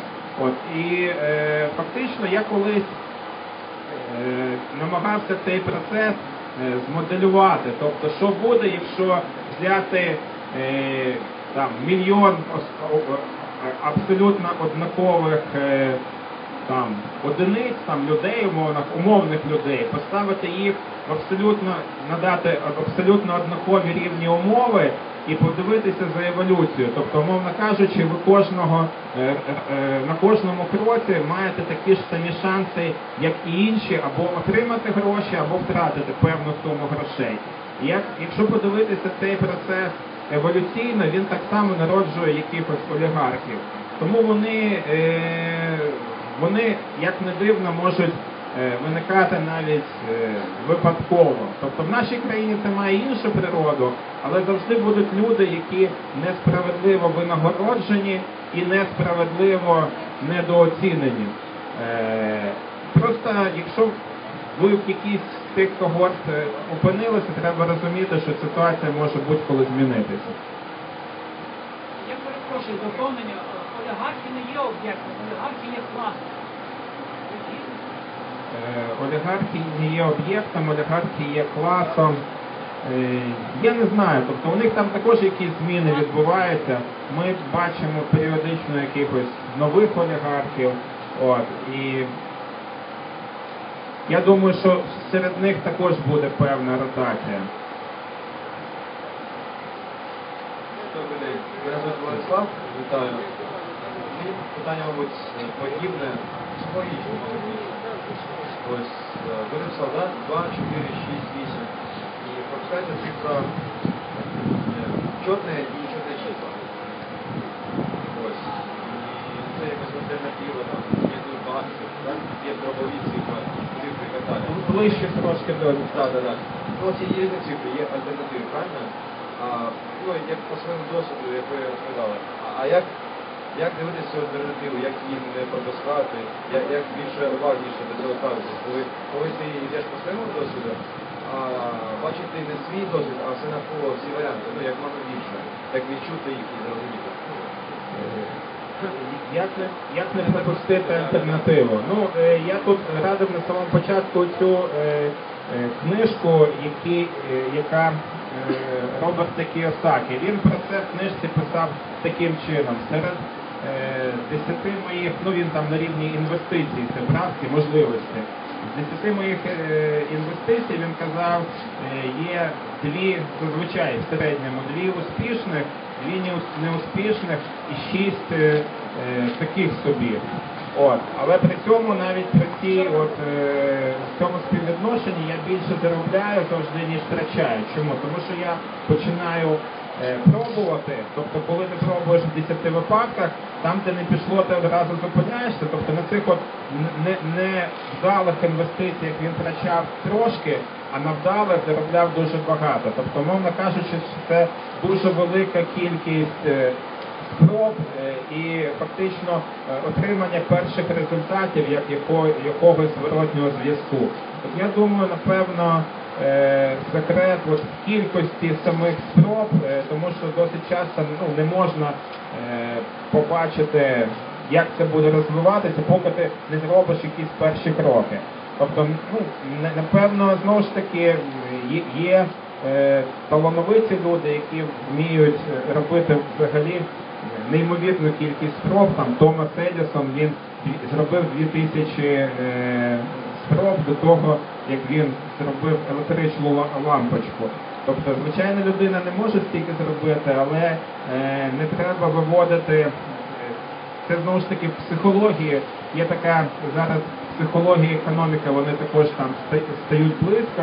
Це називається ефект малих чисел. Тобто людина занадто е, схильна виводити стратегію з невеликої кількості спроб. Тобто, от коли в науці кажуть, там ну там скільки треба провести разів експеримент, щоб ну затвердити результати. Його проводять дуже багато разів. А звичайна людина, вона два-три рази, втрапивши ситуацію, отримала негативний результат, і вона вже для себе е, вивела правило. От хоча б робити більшу кількість спроб, дивитися в різних аспектах, реагувати на ці перші результати. Дякую за запитання. Е, Стосовно досвіду, ну в принципі, базуючись на тому правилі, що ви показали, е, є така компанія Lego, вона виробляє дитячі конструктори, всі знають, датська компанія. Е, Ось, і вони частину штату, які розробляють саме ці конструктори, частина штату становлять археологи. Ось. Ну тобто, здавалося б, археологи нічого не мають спільного з дитячими конструкторами. Але їхня логіка, е, не знаю, як вони дійшли до цієї логіки, але на тому, що археолог, коли він проводить розкопки, він знаходить якусь маленьку частину чогось, і він вже собі вибудовує, як, е, ну, типу, якою, яким було ціле, цілий цей об'єкт. Ось е, саме, скажімо, з цією метою там працюють археологи. Моє питання наступному. Ну, я розумію, конкретного правила немає, як, як застосовувати власний досвід. Може, є поради, ну, типу, де краще пробувати в яких сферах, тобто якісь перекреслий такий, е, не знаю, перекреслий працевлаштування чи ще щось. Тобто, що до чого веде, чи, ну, на ваш думку? Ну, е, я скажу таким чином, що зараз е, дуже багато речей, в принципі, в світі виникає на якомусь е, перетині е, тих чи інших галузей, там, тих чи інших знань, і досить часто виходить, е, ну, от, наприклад, е, свого часу, ну, як для мене таким професійним розвитком було, от в економіці з'явилася так звана е, теорія обмежень, а створила її людина ну, для такої корпоративних фінансів, корпоративної економіки, яка була сама з фізики і фізик. І він почав раптом цікавитися іншою сферою, і він почав ну, фізику несподівано там застосовувати зовсім до не- нефізичної сфери. Досить часто виходить, що ну як напевно загальна порада, е, що е, розвивають речі, які є, ну е, можливо, навіть в чомусь протилежні. От в Києво-Могилянській бізнес-школі там е, це так само зараз дуже активно представлено. Тобто до е, людей, які займаються бізнесом, запрошують людей із сфери мистецтва, художників, музикантів, водять на певні там концерти класичної музики і розповідають е, от про зовсім інші сфери. І несподівано часто очікується, коли приходять люди з бізнесу і кажуть, от я там почув якусь ідею і примінив її там в своєму бізнесі. Це е, виглядає досить дивно, але ну така, як може загальна порада. Е, якщо ти там, я не знаю, програміст, то цікався там е, зовсім чимось іншим, живописом чи історією кіно. Тобто брати може якусь протилежну сферу і розуміти, а як там все працює. Добре, є ще питання? Недавно Балашов, Якщо можна, трошки ближче. журналіст Балашов, е, сказав, що на Україні малим і середнім бізнесом займатися нерентабельно. Якщо треба створити капітал, то треба їхати за кордон. Як відноситесь? Ну, Бал- Балашов, е, до Балашова саме я відношуся неоднозначно, але е, от якраз е, його, е, е, от не дивлячись на те, що його там багато поглядів і ідей там, ну в цілому як економіст не сприймаю, тим не менш радив би його слухати. Е, Чому? Тому що е, насправді е, багато речей, про які він говорить. От знову ж таки, є ця організація 5-10 його пропозицій щодо там кардинальної зміни всієї там податкової системи і таке решта. Тобто я ну так скептично, критично відношуся, але при цьому радив би його слухати, тому що в нього дуже багато таких е, принципів, завдяки якому ми е, інколи можемо, ми, ми самі собі надягаємо рожеві окуляри, е, самі себе обманюємо досить часто, і важче е, за все знайти той обман, коли ти сам себе обманюєш. Ну тобто, коли ти собі придумаєш там якусь річ там, і потім починаєш в неї вірити. Тобто більшість того, е, в що ми віримо, якщо там дуже глибоко розібратися, воно може йти. Ну, ми собі одне пояснення придумаємо, а реальність там е, зовсім інша. Тобто, може там людина, е, їй важко комунікувати, спілкуватися з людьми, а вона якоїсь ситуації уникає, тому що каже, мені це не подобається. Тобто причина справжня одна, а факт, е, інший. І е, от з цим треба пропрацьовувати свої слабкі сторони. Повертаючись до питання щодо Балашова, е, малим середнім бізнесом е, в Україні е, займатися, е, звичайно, що важко. Е, Є, але е, можливо, да? тобто, і знову ж таки, нас цього малого середнього бізнесу не вистачає не стільки. Е, ну, перша, перша причина не в тому, що їм настільки важко займатися, а в тому, що все ж таки е, для нас це не є характерним. У нас є е, Радянський Союз, де не, бу- не, не казали про підприємницьку діяльність нічого. Да? Тобто американця маленького, його з раннього дитинства йому показують підприємців, йому кажуть, що і ти можеш бути таким, що е, і ти можеш кудись вибратися, і ти можеш щось придумати. Тобто в них є ну, позитивний, позитивне ставлення до самого факту. Ну от я ріс там, я ходив в садочок, в школу. Ну е, я звичайно, що мені ніхто там не казав, що це може бути е, позитивно. Тобто це була там або експлуатація, або що ще, а підприємець це той, який придумує щось нове, якусь нову ідею. Ну і власне тому відповідно е, Балашова може і інших треба слухати, тому що е, якомога більше людей мають себе пробувати робити якісь спроби, робити якісь кроки. Якщо їх буде якомога більше, то може і за рахунок цього там малий і середній бізнес матиме непогані умови. З точки зору податкової є, є, є, є, там єдиний, єдині податки. Тобто це, це, спрощена система оподаткування, яка існує в Україні. Вона ну все ж таки дає досить великому колу людей можливість, не розбираючись там якісь деталі, нюанси, не маючи там власного бухгалтера, цим займатися. Це вже є добре. От, звичайно, що доведеться там стикатися з якими-небудь там пожежниками, станепідемстанціями, БТІ, їх потрошку там відміняють, але вони все ще є. Але е, не є так, таким, ну, знову ж таки, критичним. Знову ж таки, малий середній бізнес, його на відміну великого бізнесу, навряд чи прийде там якийсь рейдер відбирати. Тому ну, є, є можливості, треба, щоб люди більше пробували. Ну, 10% це він сказав, 10% 5% десь, ну це, це він пропонує, що для малого бізнесу є єдина ставка. 5% з обороту, е, для великого 10% з обороту, е, більше жодних податків немає. Е, Модель дуже проста, легка, в світі подібного немає, хоча знову ж таки це не показник, що десь такого немає.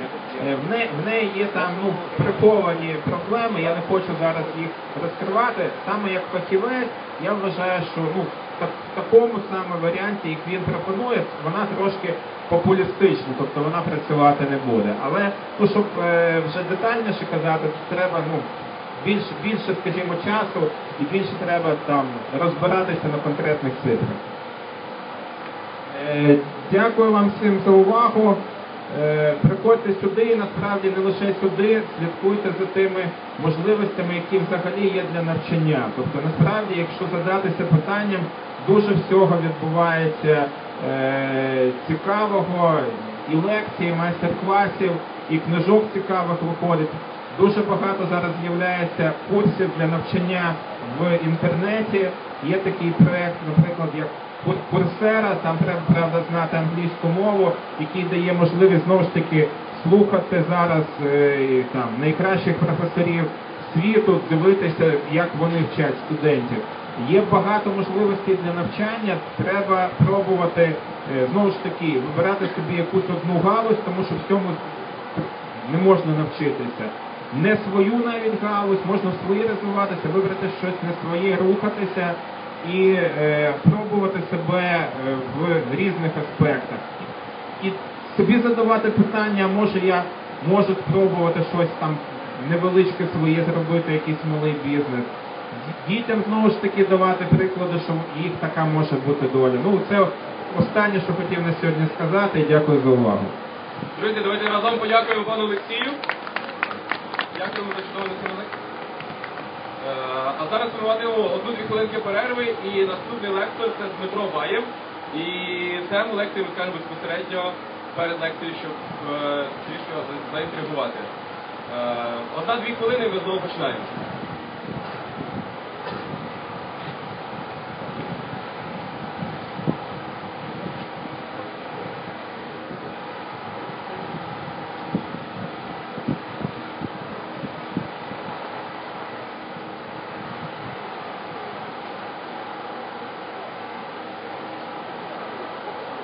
Сумно, звісно, але потім народ так ще більше дозволив.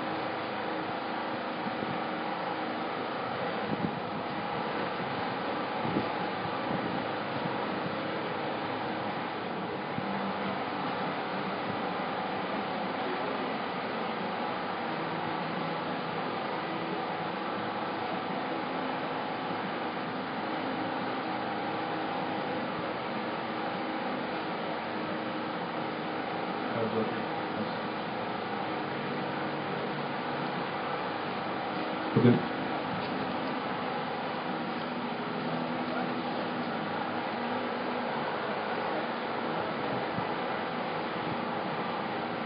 Ну що, шановні друзі, відкритий університет Майдану продовжує свою роботу і е, зараз лектор е, Дмитро Баєв е, прочитає для вас лекцію. Не знаю, це буде інтерактив чи лекція, яка називається Почни з себе. Отож, підходимо е, буквально за кілька секунд. Ми починаємо нашу лекцію Почни з себе. О чем? О чем мне? О чем? Добрый день. Э, Я э, представлюсь, Дмитрий Баев. Буду э, на русском языке читать лекцию. Я украинский гражданин, но прожил почти 20 лет за границей. Когда уезжал из э, уже независимой Украины, это уже не был Советский Союз, была независимая Украина, ну, говорили в основном на русском языке. Сейчас учусь, возвращаюсь на украинский, но пока еще быстрее будет на русском. Э, Это моя третья лекция в рамках открытого университета Майдана. Кто был на первых двух лекциях, а, слышали, помнят, что стараюсь копать глубоко. Э, Социальные явления, которые сейчас происходят в Украине, в мире, в иерархии, которой я придерживаюсь, это явление высокого уровня, да, выше. То есть э, это, это некие тонкие движения человеческой энергии. Вот, э, ну, каждому из нас нужно кушать. Каждый из нас биологическое существо. Э, по моему мнению, аналитики, политики много внимания посвящают высоким материям, э, толком не понимая, не зная, кем они являются сами, кем мы являемся. Вот, э, что такое мы, кто такие мы, люди. Вот. Я не изобретаю Америку, не изобретаю, не открываю Америку, не изобретаю велосипед, я стараюсь, что? Ангелы воплоти. Есть такое мнение, да. То есть я стараюсь э, ну, исследовать древние источники. В миру я бизнес-консультант. Необходимости исследовать источники я пришел в результате своей бизнес-деятельности. Я э, занимаюсь несколько лет уже реорганизацией предприятий. Сейчас э, на польском рынке в основном я работаю. Э, я являюсь инвестиционным консультантом. И работая с э, бизнесом, в бизнесе я уперся в некий барьер. Я понял, что э, на каком-то этапе мы упираемся в качество человеческого материала. То есть невозможно достичь э, максимальной эффективности предприятия, бизнеса без работы с э, лично с каждым человеком, без, без его работы над собой. Вчера была Элина. А э, пройдя через бизнес-тренинги, через тайм-менеджмент, через личностный рост, через НЛП, в конечном счете я для себя нашел и открыл то, что тех текстах, которым тысячи лет, и в э, философских концепциях, которым тысячи лет, мы получаем более информативную картинку, чем, чем, как бы, чем то, что там, бизнес-тренеров и консультантов там, последние десятилетия. Поэтому э, первые мои лекции были посвящены классической индийской философии. Это ведические тексты, веды, э, система, система каст или варн иначе, система иерархии в обществе. Мы с нашими, э, с моими слушателями, мы вместе пытались понять, насколько это потеряло актуальность вообще. В основном пришли к тому, что актуальность это не потерял. Храм. 6 тысяч лет, 8 тысяч лет информации. Все как было актуально, так и осталось. Сегодня я хотел бы немножко коснуться классической э, китайской философии. Вот, э, кому известно такое философское течение, потому что религия это не назовешь, даоизм, дао, вот. Даосизм, разные бывают интерпретации этого течения. Ну, как бы сейчас будем, будем работать, будем вместе в интерактиве пытаться разобраться, да. На самом деле, все, о чем мы э, говорим, и все, что я вам пытаюсь донести, оно самым непосредственным образом связано с тем, что, что происходит сегодня в Украине, на Майдане. То есть э, это связано с революцией происходили тысячи лет назад, сотни лет назад в Европе, через э, трансформацию сознания, на самом деле происходит переход сознания общественного на некий новый уровень. Из сознания рабского сознание человека, который за себя не отвечает, за которого э, отвечают другие люди, он сам делегирует, э, делегирует себя, делегирует, отдает себя, свою жизнь в руки других, сильно не разбираясь, кто это. Другие, сильно не парясь, берут это. Вот. На самом деле, та трансформация, которая сейчас происходит, это некое взросление и осознание людей или нации, Э, как э, ответственного за себя субъекта, это болезненно, вот, но я вас успокою, не мы первые через это проходим, и это единственное возможное направление, то есть уже история показала, направление развития, мы, наверное, пройдем, как другие проходили. А для того, чтобы нам легче было проходить, нужно немножко глубже посмотреть. Вот. Кое-что интересное, наверное, каждый для себя узнает. Итак, давайте начнем картинки рисовать. Значит, я рисую некий символ. Можно модератора попросить или скотчем, или чем-нибудь так подклеить, потому что ветер, ветер флипчарт поднимает, и не все видно. Значит, я рисую круг и рисую вот такой вот символ. Вот такой вот символ я рисую. Вот это у нас, по идее, черненькое должно быть. Вот это беленькое с черненьким глазиком. А это беленький глазик внутри черненького. Кто знает, что это такое? Иньян, иньян. Принимается. Еще есть там название этого? Кто знает? Ну, говорят, даосская монада, да? Монада как перво, первый элемент. Инь-ян очень точно. Где инь, где ян? Ну, нет, ну, по, ходу, то есть если кто знает, что это инь и ян, видно, что два элемента, какой инь, какой ян. Не знаете, я расскажу, я за, это, за этим, собственно, здесь и стою. Если кто-то ошибется, не страшно, попробует, по крайней мере. Где инь, где ян? Темная инь. Да, да, темная инь, светлая ян. А, еще э, связывают эти элементы с мужским и женским началом. Какое мужское, какое женское, кто знает? Какое? Ну, согласно классической китайской концепции, женское темное, мужское светлое. Вот. Ну, так, первые вопросы заданы, ответы получены. Немножко мне нужно поговорить. Женская темная. Ну, давайте вкратце. То есть моя задача популяризировать, да, хоть это, конечно, не совсем благодарное дело, популяризировать. То есть я вам расскажу что-то интересное, а после лекции, если кому-то это покажется интересным, э, дальше копнет в э, интернете, вся эта информация есть. Отвечу на вопрос, почему женское темное. Что есть, что есть данный символ? Данный символ э, э, символизирует собой единство, то есть диалектический закон, то, что марксисты в 19 там, веке диалектикой ну, о- окрестили или рас- расписали. На самом деле все это давно происходило. Это единство и борьба противоположностей. А, согласно классической китайской философии, мы,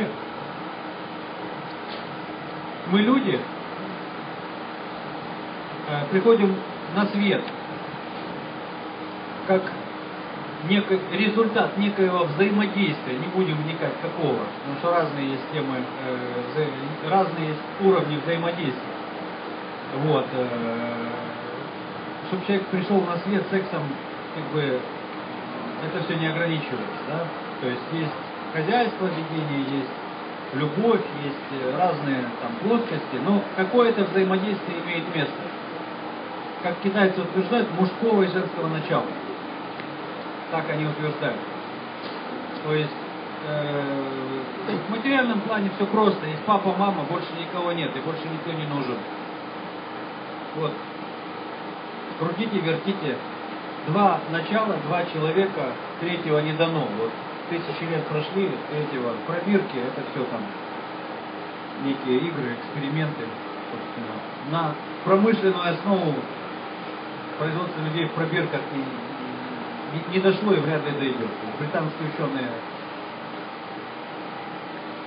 стригут, так сказать, и бюджеты получают на это, но дальше овечек доли мы не, не сам. То есть смысл? Смысл в том, что человек является результатом, именно результатом, любой мужчина, женщина, является результатом взаимодействия. Это то, что в сухом осадке остается. Двух символических проявлений. Одно из них ходит в юбке, чаще имеет длинные волосы, э, другое носит штаны и любит подраться иногда. Вот. А, Идем дальше. Игра. Игра называется «Отгадай, отгадай», э, то есть припиши э, той или иной паре слов, то есть одно- одному второму слову попробуй, рискни, припиши э, характеристики женского или мужского.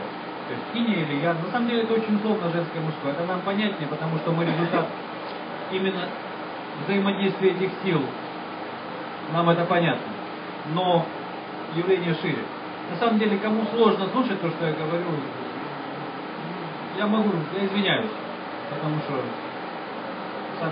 иногда простые вещи, они сложны для восприятия. То есть э, буду задавать пары, пары понятий. Ночь-день. Ночь и день. Какое слово, скажем так, женское, какое мужское? А? Ну, черная это э, Да. женщина. Да, да. Согласно классической китайской философии, да. Ночь женская, день мужское. На самом деле очень много в нашей жизни сводится к парам понятий. Это мы все а, понимаем или где-то знаем, но если вдуматься, то здоровье, болезнь, а, понятно, непонятно, а, тепло, холодно. То есть давайте так попробуем дальше. Здоровье и болезнь. Какое слово тяготеет так вот к женскому, да? Какое к мужскому? Какие есть идеи? Здоровье свет. Что? Здоровье к мужскому. Здоровье к мужскому? Да. Как бы да. Не я это говорю, это, это говорит классическая китайская. А болезнь к женскому. Жизнь, смерть. Жизнь и смерть. Что мужское, что женское? Жизнь. Что? Житящий ночь. Чего-чего? Житящий ночь. Так. Так точно. Так точно. Э, проявленное, непроявленное. То есть ясное, четкое, понятное и таинственное, загадочное, не оформившееся. Что мужское, что женское? Тайна женой. Точно, тайна жены, загадка. Должна быть в женщине какая-то загадка. Все, вот это как бы первые, э, первые вопросы, да? А теперь переходим к формулировкам, да? Классические определения. Начало.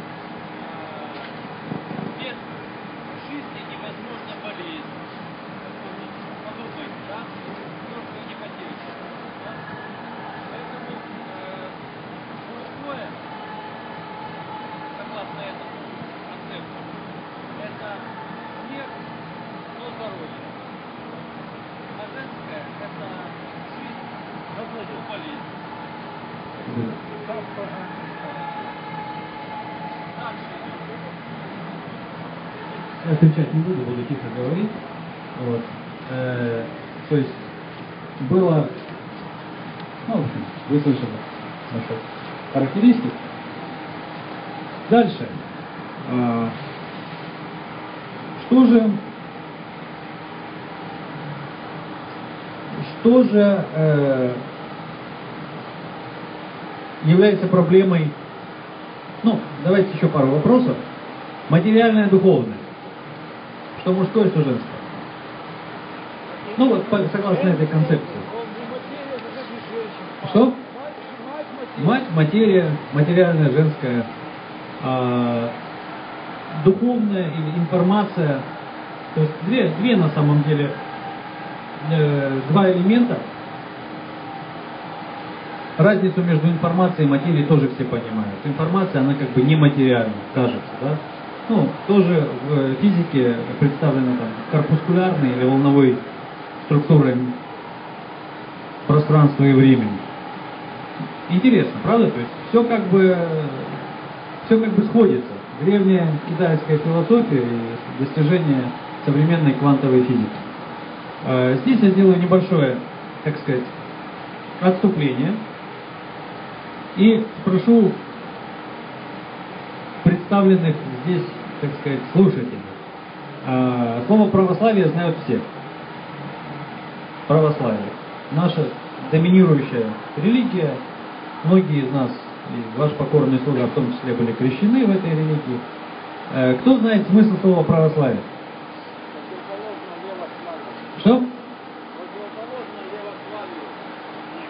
Не, не, ну давайте, мы, у нас открытый университет, то есть на самом деле принимаются все версии. Мы с вами, то есть я здесь на сцене сегодня, каждый из вас может записаться, выйти завтра. Мы точно так же поговорим о той информации, которую вы дадите. То есть вопросы, ответы. Правильный славный. Отвечаю. То есть согласно э, источникам, которым, до которых я докопался, то есть я не говорю, что это мое, моя точка зрения, но э, согласно древним, опять же, шести тысячелетним текстам, да, то есть мы на самом деле являемся здесь потомками все тех же индоевропейских народов, да, то есть веды, о которых мы говорили на прошлых лекциях, э, это к нам. И э, согласно дохристианскому, языческому э, канону, существует тоже два элемента.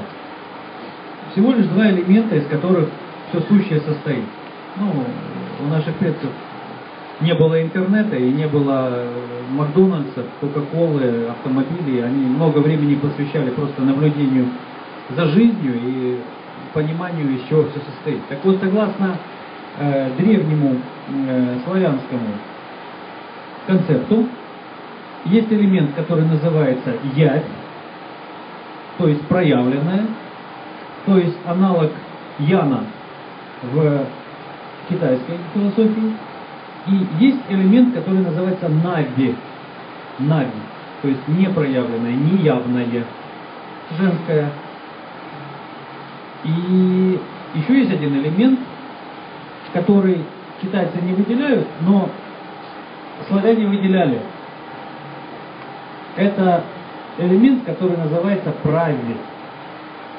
Прави. Это вот та вот тонкая лез, э, тонкое острие между проявленным и непроявленным, между материальным и духовным, между мужским и женским. Закон. Закон взаимодействия женского и мужского, проявленного и непроявленного, материального и духовного, всего сущего. И они славили праведь. Они смотрели в корень, и они славили праведь. Не нави, не проявленная, не явь материализованная, а праведь, закон, управления. Отсюда слово управление, правление, правитель. Так вот, э, ну, многие источники, копните, э, в общем-то, во всем мире э, Я жил одно время в, Гре- в Греции. Э, э, Во всем мире православие наше, вот то, что мы называем православием, называется ортод- ор- ортодоксальное христианство. Ортодоксальным. Э, Слово православие э, взяли на вооружение христиане, э, чтобы охарактеризовать и э, ну, получить дополнительную, что ли, лояльность народов языческих, проживающих на наших это, сегодняшних территориях. Ну, это так отступление, да? То есть, почему мы разбираемся? Да вот потому и разбираемся, что пытаемся как бы, делать какие-то изменения, нужно же понимать, на чем мы стоим. Не утверждаю, что мы на этом, на этом стоим. Я просто предлагаю вам после лекции искать, искать свои источники находить свое понимание. Идем дальше. Ну, на самом деле, маленькая ремарочка, как я вообще к этому ко всему пришел. Это отдельный, интерес, отдельный интересный аспект, да? А, ну, я занимался всегда управленческой работой, э, бизнесом. Ну, в общем-то, неплохо у меня это получалось. Всегда был какой-то нормальный уровень стабильности, дохода. Знаний особо не было, жил как все. Э, дошло до того, что от хорошей жизни вес мой дошел до 115 килограмм. То есть эта куртка, это еще с тех времен. Я, я в нее с трудом помещал. Вот. Ну, э, это было 8 лет назад, э, как-то так. Был готов к тому, что, блин, уперся. Ну и при- пришел к интересным людям, которые меня надоумили. С тех пор особо ничего э, там, радикально в моей жизни не, не поменялось. Живу как, как жил, но знание определенных э, законов помогло и помогает мне ну, не болеть, быть эффективным. Так вот, возвращаясь к тому, нашей монаде, да, даосской. А, Что сказал мне учитель мой, который являлся и является мастером э, воинских искусств? Он на меня посмотрел, сказал, ты же, говорит, сиськи. Я говорю, ну, да, наверное, 115 килограмм. Он говорит, ты же на женщину стал похож. Я говорю, ну, блин, наверное. То есть реально там. Все при мне такой там, круглый. Он говорит, ну ты же ешь э, женскую еду. Я говорю, а что, есть какая-то женская еда? Ну он говорит, ну а как же, есть женская одежда, есть мужская одежда, есть э, время суток женское, есть мужское, есть... Я говорю, блин, а что, если я буду есть мужскую еду, у меня все будет нормально? Говорит, да, и здоров будешь. Я говорю, что и вообще, и там, да, говорит, да вообще, и насморка не будет, потому что, потому что будешь есть мужскую еду. Ну, я очень удивился, решил попробовать. Ну, вот, 8 лет уже получается. Ну, как бы, это э, почему? Вопрос почему. Я начал задавать вопросы почему. Он говорит, ну, потому что определенные задачи есть у женщины, у мужчины. У женщины есть задача родить детей, э, ну, сначала забеременеть, потом родить детей, выжить, в любых условиях выжить. Это задача женщин. Э, Поэтому женщине дано переваривать все. Женщина способна фактически питаться ну, всем, ей, ей оно не вредит. Красоте ее, если, конечно, не перегибать палку, то есть главная, главная черта женщины какая, все знают, красота. Да? Женщины красивые. Мы всех остальных тоже. Ну, не, не надо, не надо, все красивые. Все красивые, и им это дано, вот дано. Да, женщина утром просыпается, идет в ванную комнату, рисует человечка, и все. Некоторые не рисуют, все красиво. Мужская главная какая э, задача, какая, какая, какая черта? Ну, по сути так, давайте глянем корень. Какая? Ну, постольку, поскольку. Есть варианты другие. Как, как- кто еще думает, какая главная мужская черта? Вот. И то, и другое, и третье. Вот то вы уже говорите, вот еще что-нибудь, и вы придете к чему? Что? Тоже. Ну, я вам помогу. Эффективность. Вот. И будучи добытчиком, нужно быть эффективным. И быть защитником тоже нужно эффективным быть. Да, то есть, видите, мы настолько разные на самом деле. Я не отхожу от тем. Тема у нас мужская и женская. Кто мы? Мы очень разные. У нас даже, ну, они материя, материя, а мы энергия или информация, как вообще из разных полей, да, Э, они это красота и влечение, привлечение, они нас привлекают. А мы эффективные должны быть, в том числе и в государственном строительстве, в государственном управлении, да. Так вот, что мне сказал мой учитель? Говорит, э, попробуй вот питаться так, как воин, как мужчина должен питаться. Ты, конечно, там хороший управленец, менеджер, у тебя там бизнесы, там деньги. Попробуй.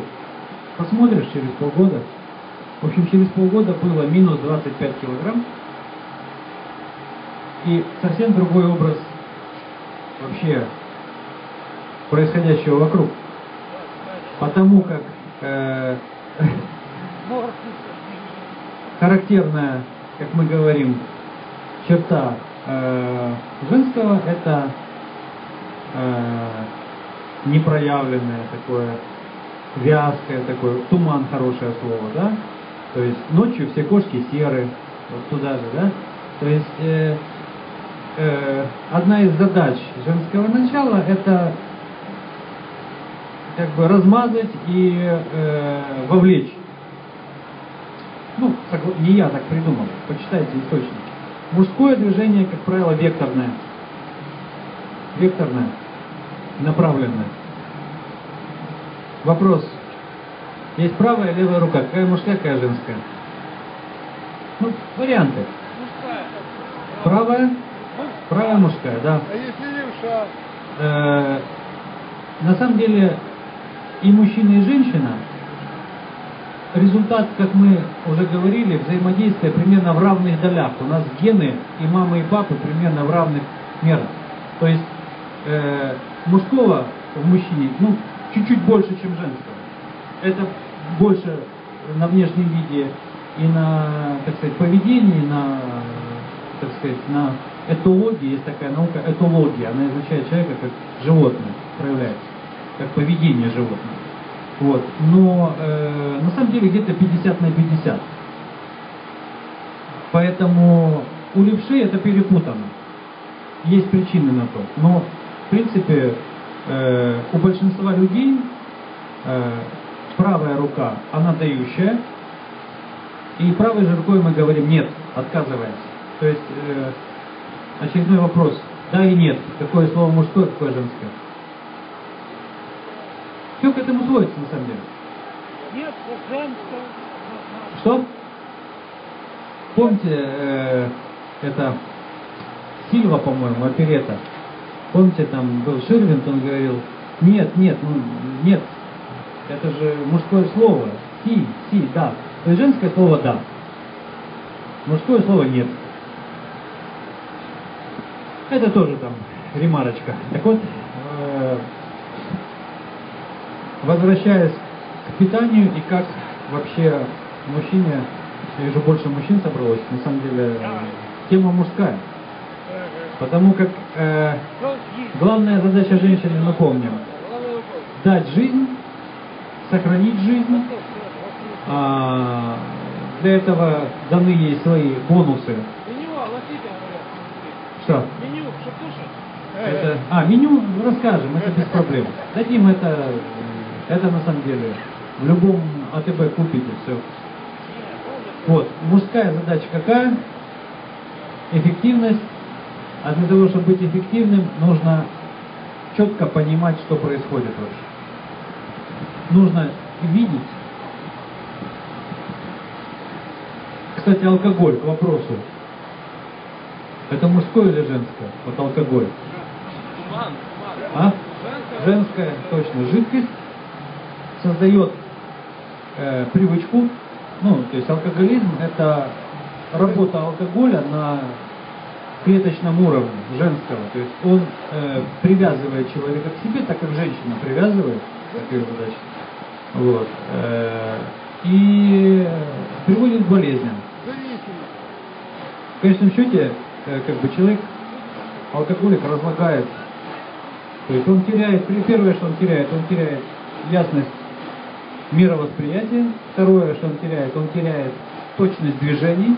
Ноги подгибаются, все, он никакой женская в концентрированной форме, потому что алкоголь это реально сконцентрированный инь.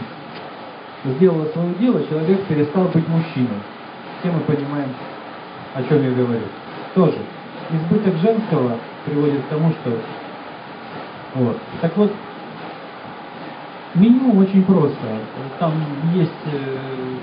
Я вам дам источник. Прав- вы Подойдете, я вам дам где читать. То есть я вам. Главное, исключить э, инистые продукты. Инистые это всегда результат, э, продукты, которые получены в результате сложных преобразований. Вот чем сложнее продукт, тем он более инистый. Ну, то есть, тортик. Вот тортик это вообще инь. Много всяких там преобразований, еще и розочка сверху, еще и какие-то консерванты и прочее. А вот ян это зелень, например, петрушка, укроп, каша, то есть крупа, это овощи, это яблоки. Уже, если хотя бы придерживаться этих правил, то уже вот, э, принцип такой, что ян про- происходит сам вот, в природе. Он сам как бы появляется откуда ни возьмись, он хрупкий на самом деле. То есть мужское начало, вопреки общему представлению, что как бы сильное, сильный пол, э, оно очень хрупкое. То есть начни что-то его переделывать, да, его нельзя улучшить. Вот какое есть, такое есть, э, может только само себя улучшить. Внешними воздействиями можно только ухудшить. Вот. Всякое, чем больше степени обработки пищи, э, варить, парить, тем вот этого яна меньше. Вот поэтому сыроеды очень хорошо себя чувствуют в основном, потому что они питаются сырой пищей. Ну это, говорю, знания есть. Просто надо ключ поймать, вектор понять. То есть, собственно, злоба дня у нас одна. То, что происходит в стране и то, что происходит на Майдане. Все, все где-то подозревают, что причины лежат в разнице между там материальным и духовным, да? Вот. То есть многие подозревают, что то, что происходит, это концентрация излишняя на материальном. Вот. Ну да, так оно и есть. Но чтобы понимать, где это, какие пропорции и как вообще, э, где, где в этом наше место, ну, следует, думаю, что э, обратиться к источникам, к первоисточнику. Так вот, идем дальше. Идем дальше. Э, вопрос к вам. Э,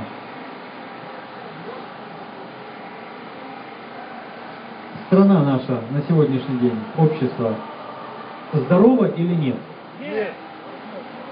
Нет. Начинаем понимать, как бы, почему.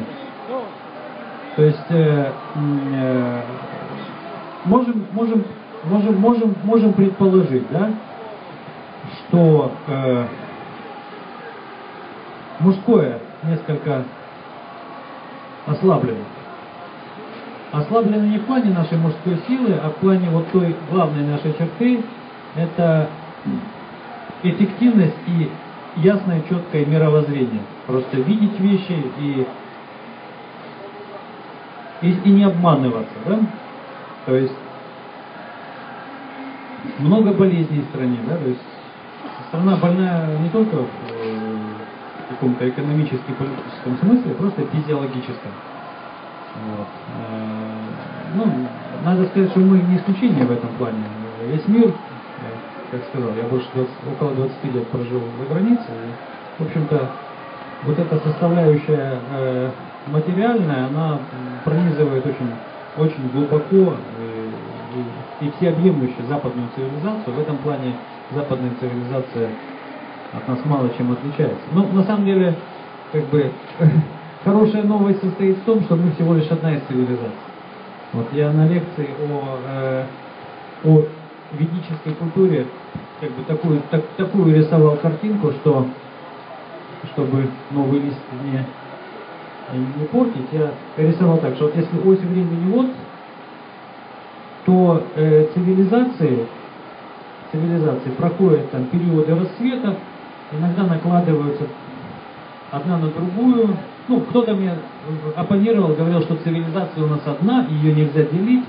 Ну, я не буду оппонировать, это не моя цель. То есть э, это вопрос терминологии. Можно считать, что мы все одна цивилизация. С другой стороны, э, есть э, мнение, что э, египетская цивилизация была, пережила свой пик, и если считать культуру, совокупность, ну, на самом деле исчезли и египтяне. Вот, древних египтян нет. То есть сегодня на территории Египта живут потомки, э, метисы, то есть это не чистые египтяне. То же самое, как была римская цивилизация или греческая. Сегодня живут потомки, рас, расп- распыленные и перемешанные с другими народами. Ну, ацтеки, инки были цивилизации. Да? То есть э, то, что сейчас происходит, ну, мы сегодня э, тоже где-то на каком-то этапе какой-то цивилизации. Кстати, э, э, культурологи отличают э, славянские, восточнославянские народы как отдельную цивилизацию. Это, кстати, ответ на вопрос, почему, почему все на нашей улице праздник не случается. То есть в Западной Европе был тоже расцвет, 19-20 век, а у нас, если не коммунизм, то, блин, какая-то диктатура, еще что-то такое. Это потому, что мы еще идем на ярмарку. У нас еще, ну, мы, мы не можем на нее не прийти, если мы на нее идем. То есть будет период расцвета. Когда? Непонятно. А в дороге, как известно, кормить не обещали. Так вот, возвращаясь к цивилизациям, да? Э, на сегодняшний день да, вопрос. Вопрос был другом. Другом. Я говорил о питании, говорил о ясности э, видения мира мужчинами. Э, какой, какой результат ожидает цивилизацию, в которой э, диспропорция, дисгармония одного над другим? Вот как вы думаете? Будет она жить хорошо, долго, счастливо?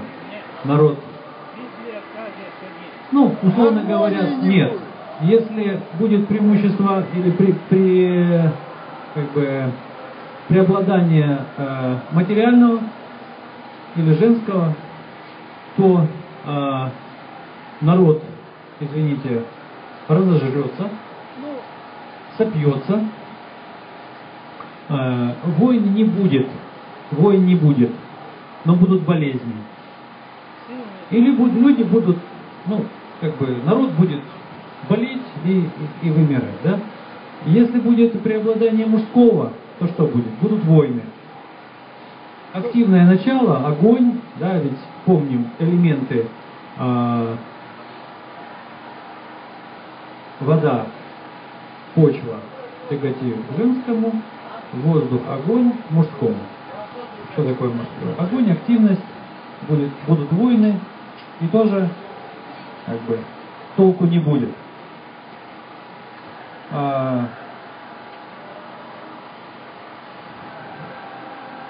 Итак, разобрались уже немножко с тем, что то, что происходит сегодня, не только в Украине, но и во всем так называемом цивилизованном мире, нашей цивилизации. Какая будет следующая и когда она будет, это отдельный вопрос. Но то, что и то, к чему мы идем сегодня, это ну, решительное преобладание материального над духовным. Поверьте, были другие цивилизации. То есть были другие. Ну, то есть не всегда материальное ставилось во главу угла. То есть, но тоже, поскольку э, гармонии полной не было, где они, мы сейчас можем только по культурным там, каким-то памятникам.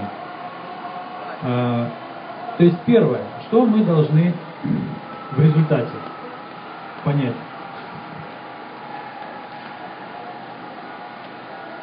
Народы, страны, цивилизации состоят из отдельных единиц людей.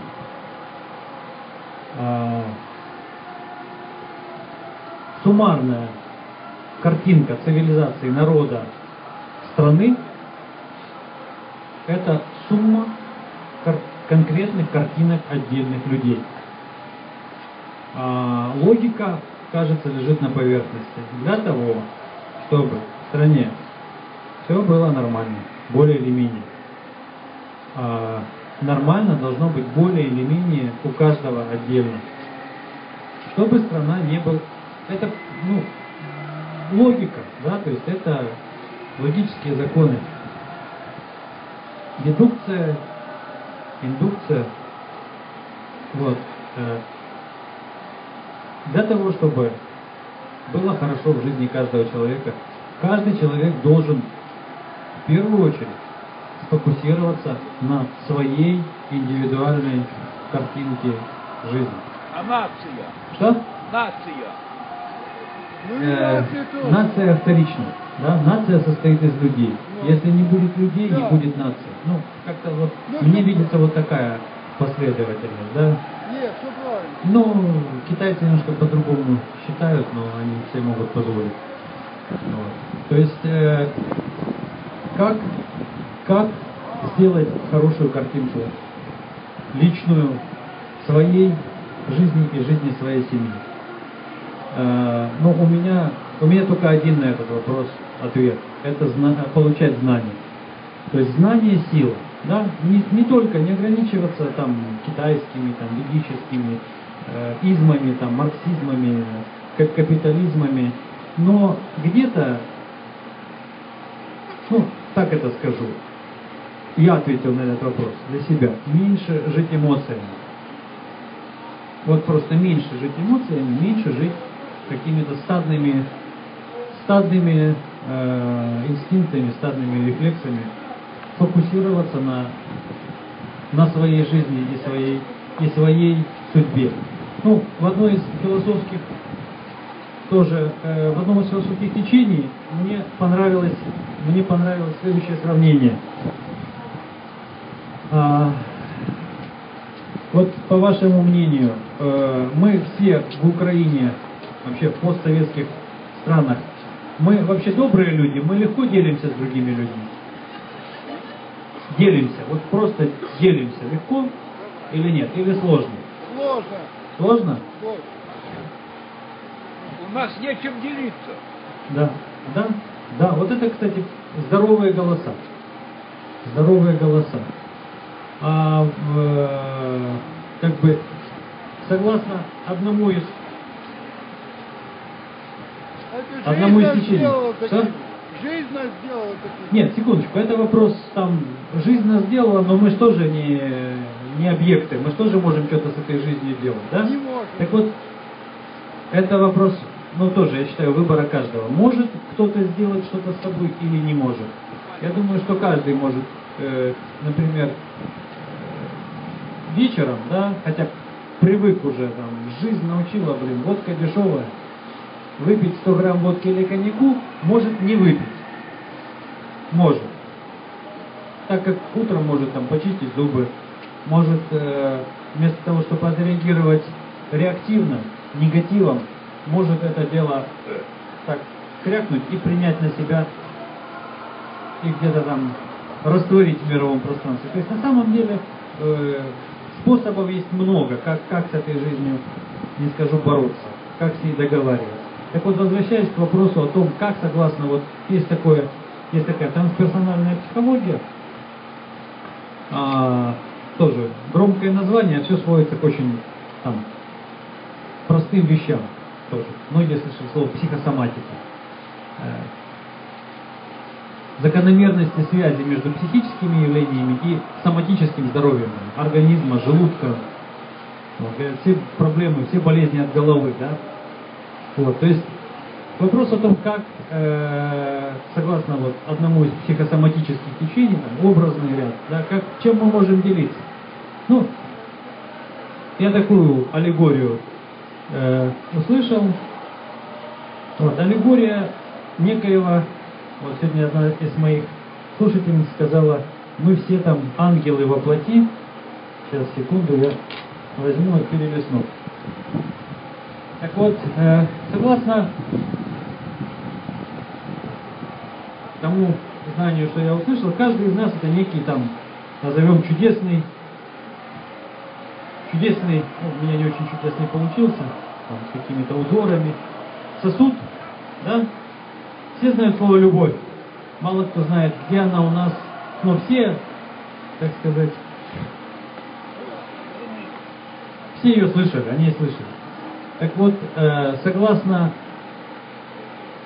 одному из психосоматических учений, делиться нужно только избытком любви, который переливается через край. Вот сказали, нечем у нас делиться. Да, проблема такова, что э, большинство людей ну, не способны давать, так сказать, э, любовь другим людям. Любовь в широком плане. Там, вот. Мы все на Майдане видим, что такое, что такое любовь в широком плане. Это люди приносят еду, приносят бензин для общего дела. Другим людям улыбаются, смотрят в глаза. Это некое открытое состояние человека. Вот. Но не все себе это могут позволить. Потому как я возвращаюсь к этой картинке, э, откуда же берется любовь в человеке? А есть некий источник. Есть некий источник. А куда же она девается, если, если она у нас даже до половины не, не доходит? А ответ такой, что обиды, которые человеку причиняются, и эти обиды, если мы в себе носим, если мы а, не переживаем до конца и не прощаем других людей, они оставляют дырки в этом сосуде. И любовь утекает. Плюс, конечно, многие люди черти чем питаются, черти чем забивают свою голову. Общение с другими людьми это тоже составляющая жизни. Если вы будете общаться просто с кем попало, ваш родник забьется, заилится, и энергия будет браться ну, ниоткуда, на самом деле. То есть я не утверждаю, что это моя точка зрения. Я рисую картинки, завтра мы, вы можете выйти и порисовать свои. То есть э, мне это, например, помогает. Я так этим образом рядом пользуюсь. Ну, фу-фу-фу, конечно, но жизнь как начала налаживаться 8 лет назад, вот 8 лет уже налаживает в разных ее проявлениях. Так вот, что? Э, источник это, ну, любовь. На самом деле, э, каждому из нас, кто верит в Бога, кто нет, но если мы здесь появились вот как бы как-то, то есть никто, э, никто не появился в этой жизни, вот он взял, ну, по крайней мере в этой жизни, мы, мы не помним, как мы вот, не взял на себя ответственность взять и родиться. Ну, есть люди, которые считают, что там на каком-то уровне там, блин, я там в прошлой жизни там решил, вот. ну это там я встречал таких людей, мы это пока не обсуждаем. То есть на самом деле каждый человек а, а ответственность в жизни можно нести только за свои решения. Все это понимают, да? Так вот, э, я говорю, кто верит в Бога, тот считает, что там Бог дает жизнь. Ну, одна из точек зрения. Но кто-то точно решил. Вот я, например, точно не решал здесь вот сейчас появиться, но появился. Вот почему я, рассуждая, заботиться или нет о куске хлеба, прихожу к выводу, что заботиться не надо. Ну просто я, ну, реально, восстанавливая в памяти всю цепь событий, там, насколько хватает моей памяти моей жизни, э, я вспоминаю, что забота мне особо ничего не приносила. Вот. Не я здесь себя, не я себя сюда забросил, и не мне заботиться о моем куске хлеба, как корова не заботится о траве, которая растет. Вот точно так же вы спросили источник. Он откуда-то берется.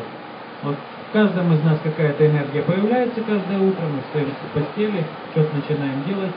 Почему мы начинаем делать тоже, я сейчас об этом скажу. Вот. Но возвращаясь к источнику, какой выход? Ну, все говорят там, ну, многие говорят, надо научиться прощать других людей. То есть начало отношения с другим человеком – это его простить. Тогда можно с ним что-то там достичь каких, каких-то вообще соглашений.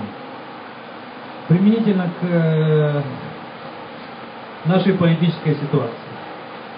Я вообще человек аполитичный, вот реально. Я э, приехал из Польши сюда не для того, чтобы людям, э, как говорится, обличать в чем-то. Ну, я просто увидел людей, которые здесь делают какое-то дело, им реально нужна помощь. Я увидел, что у меня есть возможность эту помощь оказать. Есть действительно ресурс времени. Я сел и приехал. И помогаю. То есть, но те лозунги, которые я здесь слышу, ну, они меня не, не очень сильно настраивают на позитив. Ну, то есть, кажется, другая сторона, которая, так сказать, его можно понять. Понятно, что достало уже все это. Но э, не следует ли нам немножко, так сказать, перестать уподобляться власти, которая не слышит народ? Не стоит ли нам все-таки попытаться э, не начать с лозунгов, кого геть, куда там, кого на нары, а начать просто ну, заниматься тем, что важнее всего, собой. Мудрости не хватает. Ну так, блин, для этого же общаемся, чтобы эта мудрость откуда-то бралась. Если у нас ее не хватает, читать там историю, философию, там книжки, фильмы смотреть. Скажите Януковичу. Давайте с себя начнем.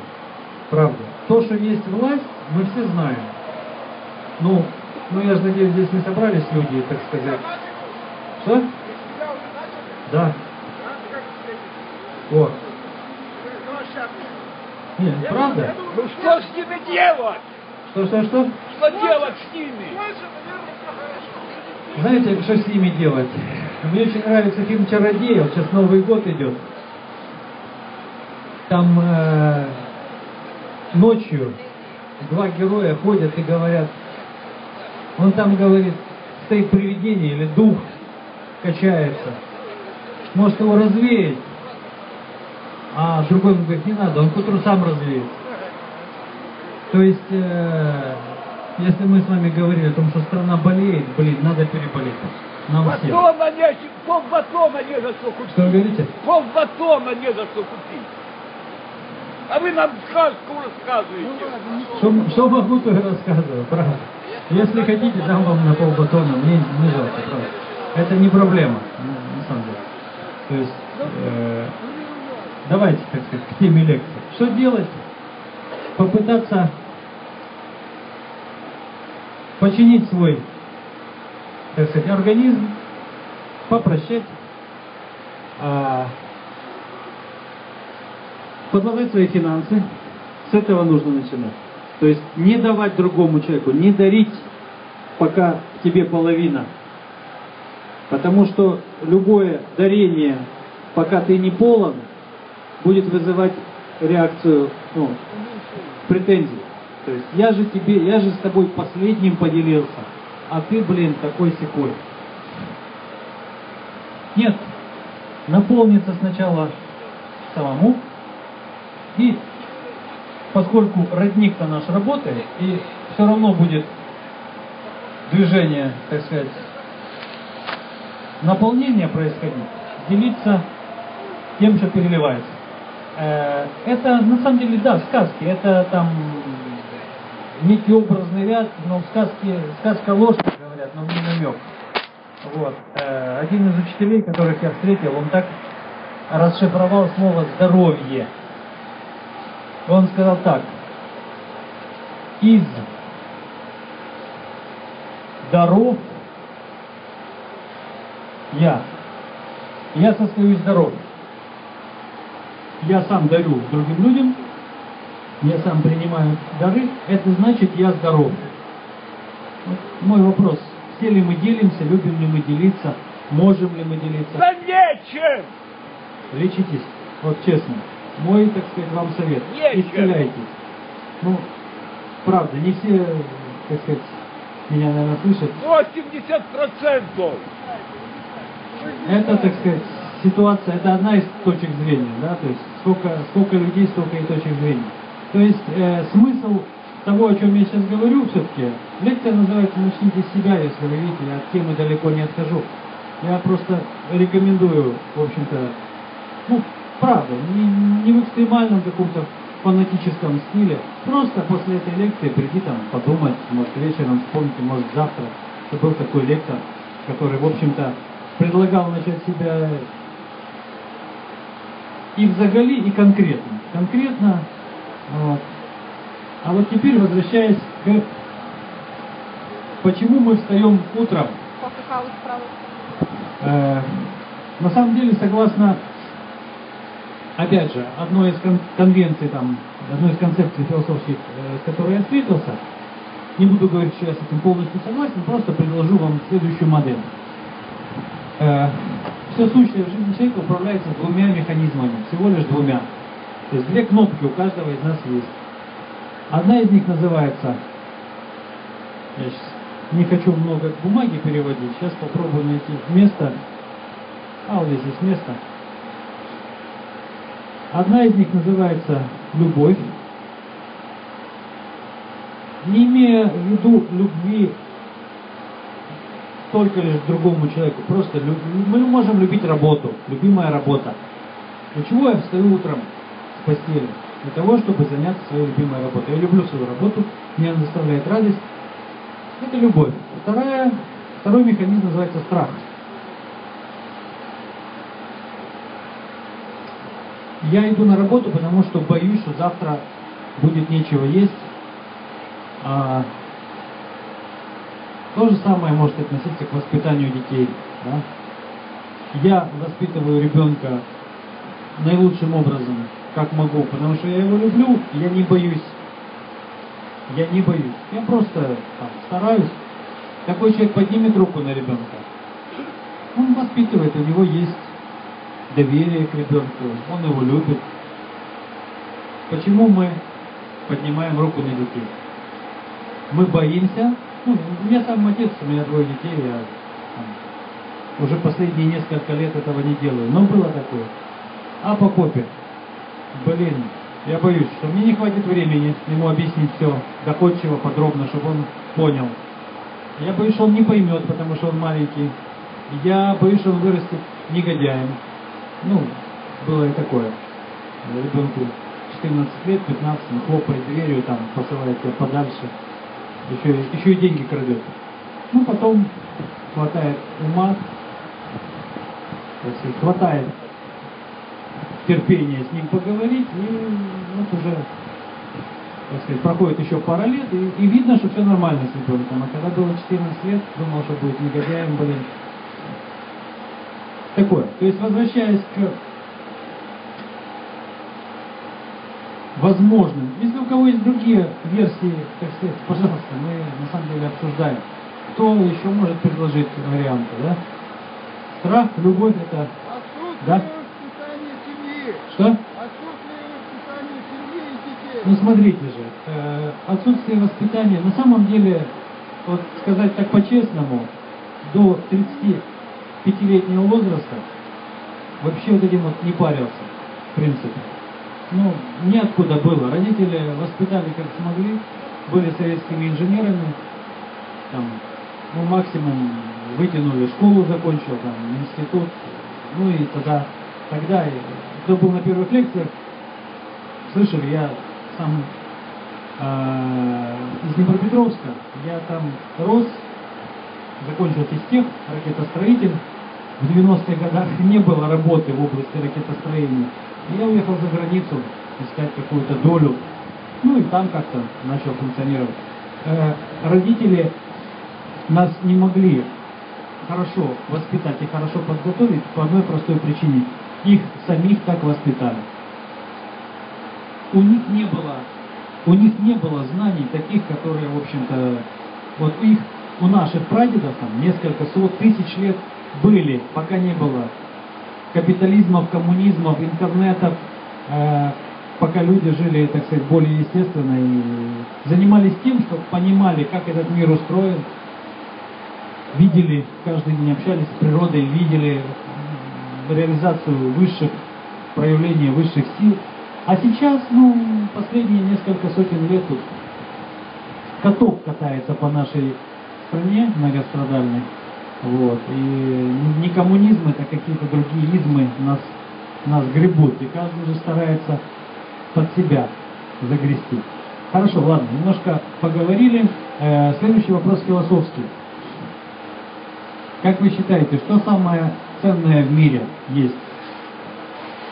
Ну, такие простые вопросы. Я вышел на сцену такие простые, незамысловатые. Что? Информация ближе. Да, что еще? Что? Совесть? Совесть? Я правильно услышал? Ну, не, не повторяйте, видно, стесняетесь. Хотя Самое главное – еда. еда тоже тема хорошая. Э, справедливость, мудрость э, И знание, э, любовь, да. Кто еще какие варианты есть? Ну, на самом деле, все это правильно. Вот практически все правильно. Э, ну, есть какая-то такая версия, не знаю, согласитесь, нет. Э, внимание.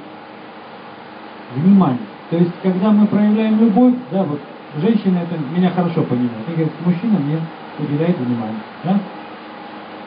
А, видите, оно как бы и тоже, и, и рядом. То есть любовь. Что такое любовь? Э, еда, да? Еда важна. Если нам хорошо накроют стол в ресторане, или просто мама нас покормит, это ли не внимание, да? За что ведет борьбу весь, э, вся индустрия маркетинга, рекламы, политики, что им нужно от нас? Деньги. Хорошо, дадим мы им деньги, если мы их не заметим, если мы не обратим на них внимание. Ну, это как бы философские все вопросы. А, просто подумайте тоже. Я думаю, что после сегодняшней лекции, если каждый там унесет отсюда там несколько таких, блин, слушай, ну, может быть, подумать немножко над этим, да? То есть э, к сегодняшней ситуации и, в общем-то, применительно к тому, о чем я говорил раньше, берегите ваше внимание, пожалуйста. Не отдавайте его просто так, кому попало. Пожалуйста. Это, это советы, э, ну, человека, который тоже через много в своей жизни прошел. Э, берегите его для себя. Вот в фокусе внимания, если, вот, знаете, как бинокль, да, мы там наводим или подзорную трубу, и в какой-то момент мы ловим резкость. В фокусе внимания будьте всегда вы у себя. Прежде всего вы. Каждый у себя. И э, там я сейчас посмотрю на время, по-моему, уже лекция наша подходит к концу. Вот. И помните, что вот пусть вам вот эта идея насчет того, да, 17.08, а, ну, то, что я говорил, что все воюют за ваше сознание, за ваше внимание. Всем нужно вас где-то там подцепить, и не всегда это, не всегда это для того, чтобы э, вам сделать хорошо. А Правильно. как обороняться? Что вы говорите? Обороняться как? Обороняться, смотрите, вот правда, респект очень вопросы по существу, потому что, да, нужно обороняться. Э, Вадим одиночку, в одиночку. заниматься собой. Вот в одиночку, на самом деле, вот чтобы вы понимали, у каждого из нас, э, по сути, есть только он сам. Вот в одиночку это страшно, если как бы бояться.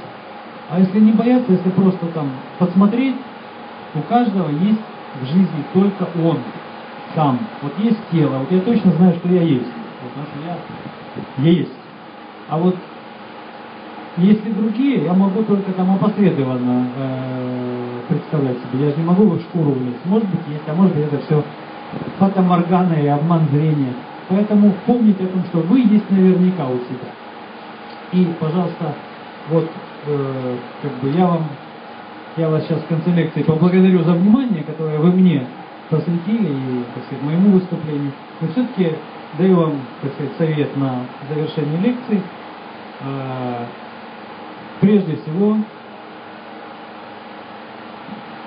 поработайте, так сказать, или посвятите, или дайте любовь себе, внимание себе, э, тогда не сразу, может быть, но мне нужно было 8 лет, чтобы как-то себя привести в порядок. Ну, сначала меньше лет, но уже 8. И, в общем-то, все получается пока. То есть э, займитесь собой, начнем с себя, и если вернуться, так к ситуации в стране, я думаю, что она начнет, начнет поправляться со временем, если каждый из нас, каждый в нашей стране начнет заниматься своим здоровьем, своим доходом, а, не будет верить первому встречному политику, а будет э, из соображений, что ли, своего, своей безопасности, своего самосохранения, хотя бы читать предвыборные э, программы кандидатов, э, понимая, что, блин, если ошибусь, может мне это и моим детям стоит дорого. Следующее, после себя. Дайте ваше внимание вашей семье, вашим близким людям. Это те люди, которые связаны с вами самым непосредственным образом. От вас, от них зависит ваш комфорт, ваше э, душевное, душевное спокойствие, равновесие. Ну, в общем-то, друзьям. И только потом, как бы, давайте свою силу, свою энергию каким-то там чужим дядям, тетям. Ну, я как бы, все, время истекло. Спасибо вам за внимание. Если есть вопросы, я еще готов на них ответить. Спасибо. У меня вопрос. Да. А для чего они Я потом- создали организацию? Смотрите, или вы задаете вопросы на публику, да, если слышит. А если нет, потом я закончу лекцию, мы сможем поговорить. Здесь А зачем они создали Организацию Объединенных Наций? Зачем они нации создали? Чтобы все друг друга защищали, а не один. В одиночку не выживет. Это да. Да. Ну, я не знаю, зачем они создали организацию. Вернее, как бы я знаю, но это не тема этой лекции. Это, это политика. Это политика. То есть, ну, честно, не могу ответить на вопрос по поводу организации Объединенных Наций. Еще толком не разобрался. Еще какие-то вопросы есть? Спасибо. Оставайтесь на нашей волне. Всем доброго, до свидания.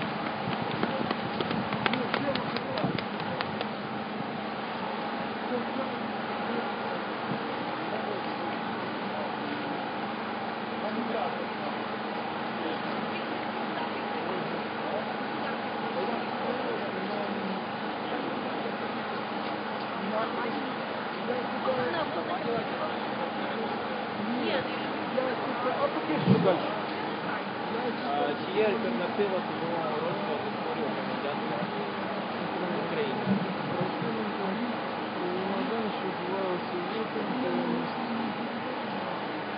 Я хочу запросити наступного лектора.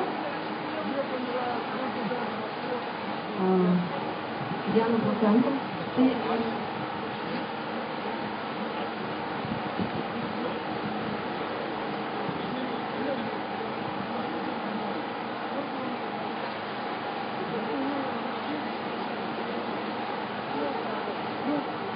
Добрий вечір. А, Дуже приємно бути з вами тут. Я сподіваюся, що вам не буде холодно і е, чим більше людей стає е, слухачами, тим стає тепліше.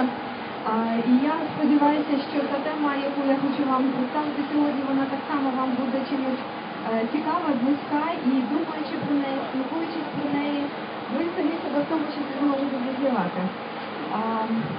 Насправді слухала попереднього доповідача, який розповідав про е, дуже важливі такі філософські питання. Почали з себе. Я навіть не уявляла, що моя наступна тема, яка пов'язана з альтернативами судовому розгляду, дуже буде настільки буде з нею пов'язана. Отже, хто я і чого я прийшла, чого я вийшла на сцену для того, щоб поспілкуватися з вами. Мене звати Діана Проценко. За фахом я юрист, е, старший викладач факультету правничих наук Києво-Могилянської академії. Знаєте, не приходять, е, кажуть, не проходять діти просто так цей світ. І ось коли я е, ходила в вагітна своєю першою донечкою, я познайомилася з однією дуже цікавою методикою, е, яку е, нам презентували під час навчання фахівці, які приїхали за кордон. Ця методика називалась медіація. Медіація це врегулювання спорів альтернативним способом. І ось ніколи не знала, що все моє життя, не- незважаючи на те, що воно почнеться з юриспруденції, насправді буде сконцентровано на, е, на тому, яким чином насправді ми маємо послуговуватися у врегулюванні наших спорів не, не стільки юри- юриспруденцією, а юриспруденція має тільки ось обслуговувати. І ось е, з 2007 здається, року ми почали в Києво-Могилянській академії викладати такий курс, який називається переговори і медіація. І, е, скажімо так, заклали основу формування нової генерації юристів. Це така тенденція в усьому світі, е, суть якої полягає в тому, що юристи, знаєте, такий анекдот, старовинна така юридична сім'я. Е, Вивчився син, почав теж займатися юридичною практикою. Приходить папа, папа, папа. Я наконец-то решил дело, которое наша семья вела, вела, вела столько лет, никак не могли мы его закончить. Тата так зітхнув, каже, сыночек, да, ты молодец, только это дело помогло выучить, да, всех твоих братьев, сестер и тебя в том числе.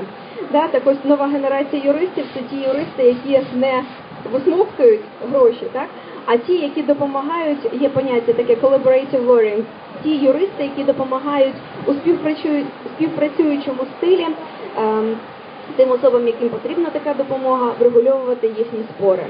І ось ем, власне з цією темою, з тим, яким чином альтернативно можна врегульовувати ваші спори, мені б хотілося з вами сьогодні поспілкуватись. Я би навіть зробила акцент на тому, що не мені вам розповісти, а поспілкуватись. Я тільки ем, почну з того, що я окреслю чотири головні такі тези, про які я буду розповідати, а далі вже з вашою допомогою ми будемо ці тези розвивати. Отже, чи є альтернатива судовому розгляду, судовому розв'язанню спорів для громадян України? Є, добре, дуже дуже дякую. Тобто є ті, хто знають про такі альтернативи. І перше, про що ми, мені би хотілося поговорити з вами, це про те, а чому насправді виникає таке питання. Друге, про що би хотілося поговорити, а що ж таке альтернативи до цього судового розгляду, в чому вони полягають, і що альтернативного в порівнянні до судового, судового розгляду вони нам дають. Наступне, чи є ці альтернативи в Україні? Чи є вони в Україні е, як офіційно впроваджені? Чи досі їх немає насправді? Да? Можливо, вони є, але ми про них не дуже обізнані. І останнє, якщо, наприклад, вони не дуже офіційно впроваджені, не дуже формально оформлені, то насправді чи можемо ми ними користуватись? Ось такі чотири, чотири ключові е, аспекти в цій е, в розмові з вами я би хотіла висвітлити. Отже, якщо ми починаємо з того, з того, чому виникло питання, так чи є альтернатива? Ну я думаю, що більшість із вас, я сподіваюся, що насправді меншість із вас мали справу з українськими судами, але так чи інакше, чи ви особисто, чи ваші друзі, родичі, колеги, чи підприємства, з яких ви працюєте, мали досвід судового розв'язання спорів. Якщо е, спеціально перед тим як їхати сюди до вас, я подивилася, да, все, все ми шукаємо де в інтернеті в гуглі, подивилася, які є опубліковані статистичні дані щодо рівня довіри. Ось е, цифри надзвичайно вражають. Для того, щоб да, почати малювати якусь картинку, я деякі з них озвучу. Є у нас різні дослідницькі центри, які проводять статистичні опитування, і ось за деякими цифрами, от є поняття баланс довіри недовіри до тих чи інших гілок влади, там чи до тих чи інших суспільних інституцій. Так, от коли ми говоримо про баланс, е, це фонд імені Ілька Кучерєва, вони проводили опитування. І досліджували, е, досліджували, який же є баланс довіри недовіри до судової влади. Так ось баланс е, цей становить мінус 56%. Тобто це означає, що тих, хто не довіряє, на 56% більше, ніж тих, хто довіряє. Ще одна цифра, е, яка була підготована, це не дуже нова цифра, але я не думаю, що ситуація аж так би змінилась на позитив. Ем, наступна цифра центр е, Разумкова. Да? Е, коли вони проводили свої опитування, то вони дослідили, що рівень довіри до судів, тобто ті люди, які в повній мірі довіряють судам, це всього навсього 2,9%. Ще одна жахлива цифра, яка е, е, дослідження, яке проводилося таким глобальним барометром щодо е, корупції Transparency International, так вони в своєму дослідженні отримали цифру 81% українців вважають, що судова система України корумпована. Дуже прикро мені, як юристу за фахом, говорити такі речі, а тим більше розуміючи, що не можна підривати авторитет до правосуддя в державі. Тобто авторитет правосуддя повинен бути ледь не на найвищому рівні. Але я би, мабуть, про це не говорила, якби самі судді і ті фахівці, які мають стосунок з судами, не зверталися до цієї проблематики. Зараз про недовіру судам говорять всі. Е, Ми можемо тільки на цьому, скажімо, да, взяти це до уваги і ем, намагатися зрозуміти, що з цим робити. При цьому деякі очільники судової системи. Вважають, що якщо в Україні теж одна з цифр, якщо звернення до судів в Україні щороку кількість звернень да, поданих позовів збільшується на 50 е, 15%, то це таким чином означає, що громадяни України довіряють судовій системі України. Але при цьому ми повинні теж взяти ще останню цифру, яку я би вам озвучила. Більше цифр, я сподіваюся, озвучувати не буду. Україна, на жаль, посідає п'яте місце за зверненнями до Європейського суду з прав людини. Таким чином, ми розуміємо, що звичайно люди звертаються до судової системи, але при цьому вони шукають правди, шукають справедливості далі, тому що їх не влаштовує те, яким чином врегульовуються спори в Україні. Звичайно, якщо е, кількість позовів настільки велика, ми розуміємо, що спори з нашого життя нікуди не зникають, і нам потрібно з ними працювати. Вони у нас є, є конфлікти. Ось я коли працюю зі своїми студентами, ми завжди проводимо одну з тем, присвячуємо конфліктам. Ми досліджуємо, що таке конфлікт, з'ясовуємо, які є функції в конфлікту, позитивні і негативні. І я розумію, що скажімо, зараз ми б могли, якби ми були в якомусь такому колі, е, можете на- насправді висловитися, якщо бажаєте ваше ставлення до конфліктів, ви їх вважаєте позитивним чи негативним явищем? Якщо вважаєте їх е, позитивним явищем, в чому бачите позитив конфліктів? Якщо хтось хоче висловитись. Ні? Так, прошу. Я не знаю, чи можна мікрофон дати. Звичайно, позитивні моменти конфлікту це те, що людина вчиться в них, і потім, можливо, такий конфлікт е, не буде знову виникати. Дякую. Так, тобто в самому процесі конфлікту ми починаємо усвідомлювати себе як конфліктантів краще, усвідомлюємо своїх партнерів краще. Ми розуміємо, які є слабкі або сильні сторони в конкретній ситуації, і ми починаємо інакше на неї дивитися. Ми можемо на неї реагувати. Тому насправді конфлікт е, має серйозну таку рушійну, дає серйозний рушійний імпульс для того, щоб змінювати в тому числі заскорузлі системи. Чи хоче ще хтось поділитися думкою? На мой взгляд, это тоже, это как бы тоже разно- разновидность спора, конфликт, правильно? А в споре, как говорится, рождается истина. Может быть, в этом и есть позитив. Так, дякую дуже. Тобто, якби ми не мали конфліктів, ми б не так можливо швидко або не так би часто доходили до істини. Дякую. Ось ми розуміємо, що конфлікти насправді це невід'ємна частина нашого життя. Вони нам потрібні для того, щоб система розвивалася, щоб вона не була заскорузлою, для того, щоб ми могли підніматися на нові рівні. Але якщо ці конфлікти є, то е, вони, е, якщо з ними неправильно поводитись, якщо в конфліктах неправильно поводитись і в спорах неправильно поводитись, то звичайно вони будуть давати е, негативний вплив, спричиняти негативний вплив на наше життя. І ось конфлікти є, спори є, не маючи. Альтернативи, не маючи знань щодо того, які є альтернативи, люди, на жаль, змушені звертатися до судів. Але якщо ми говоримо сьогодні про альтернативи, моє питання було до вас, чи є ж ці альтернативи і якими вони можуть бути. Не планувала сьогодні е, показувати ніякі слайди, тому що е, знаю, що уява у всіх є, уява дуже добре працює. Ми е, я пропоную вам, скажімо так, зараз використати свою уяву для того, щоб ми могли е, інакше трошки поглянути на конфліктну ситуацію і на те, як ми можемо з нею працювати. Отже, коли у нас є конфлікт, ми будемо для простоти розглядати поки що е, двосторонній конфлікт, де є одна сторона спору і друга сторона спору, тобто не багатосторонній, а всього навсього двосторонній конфлікт.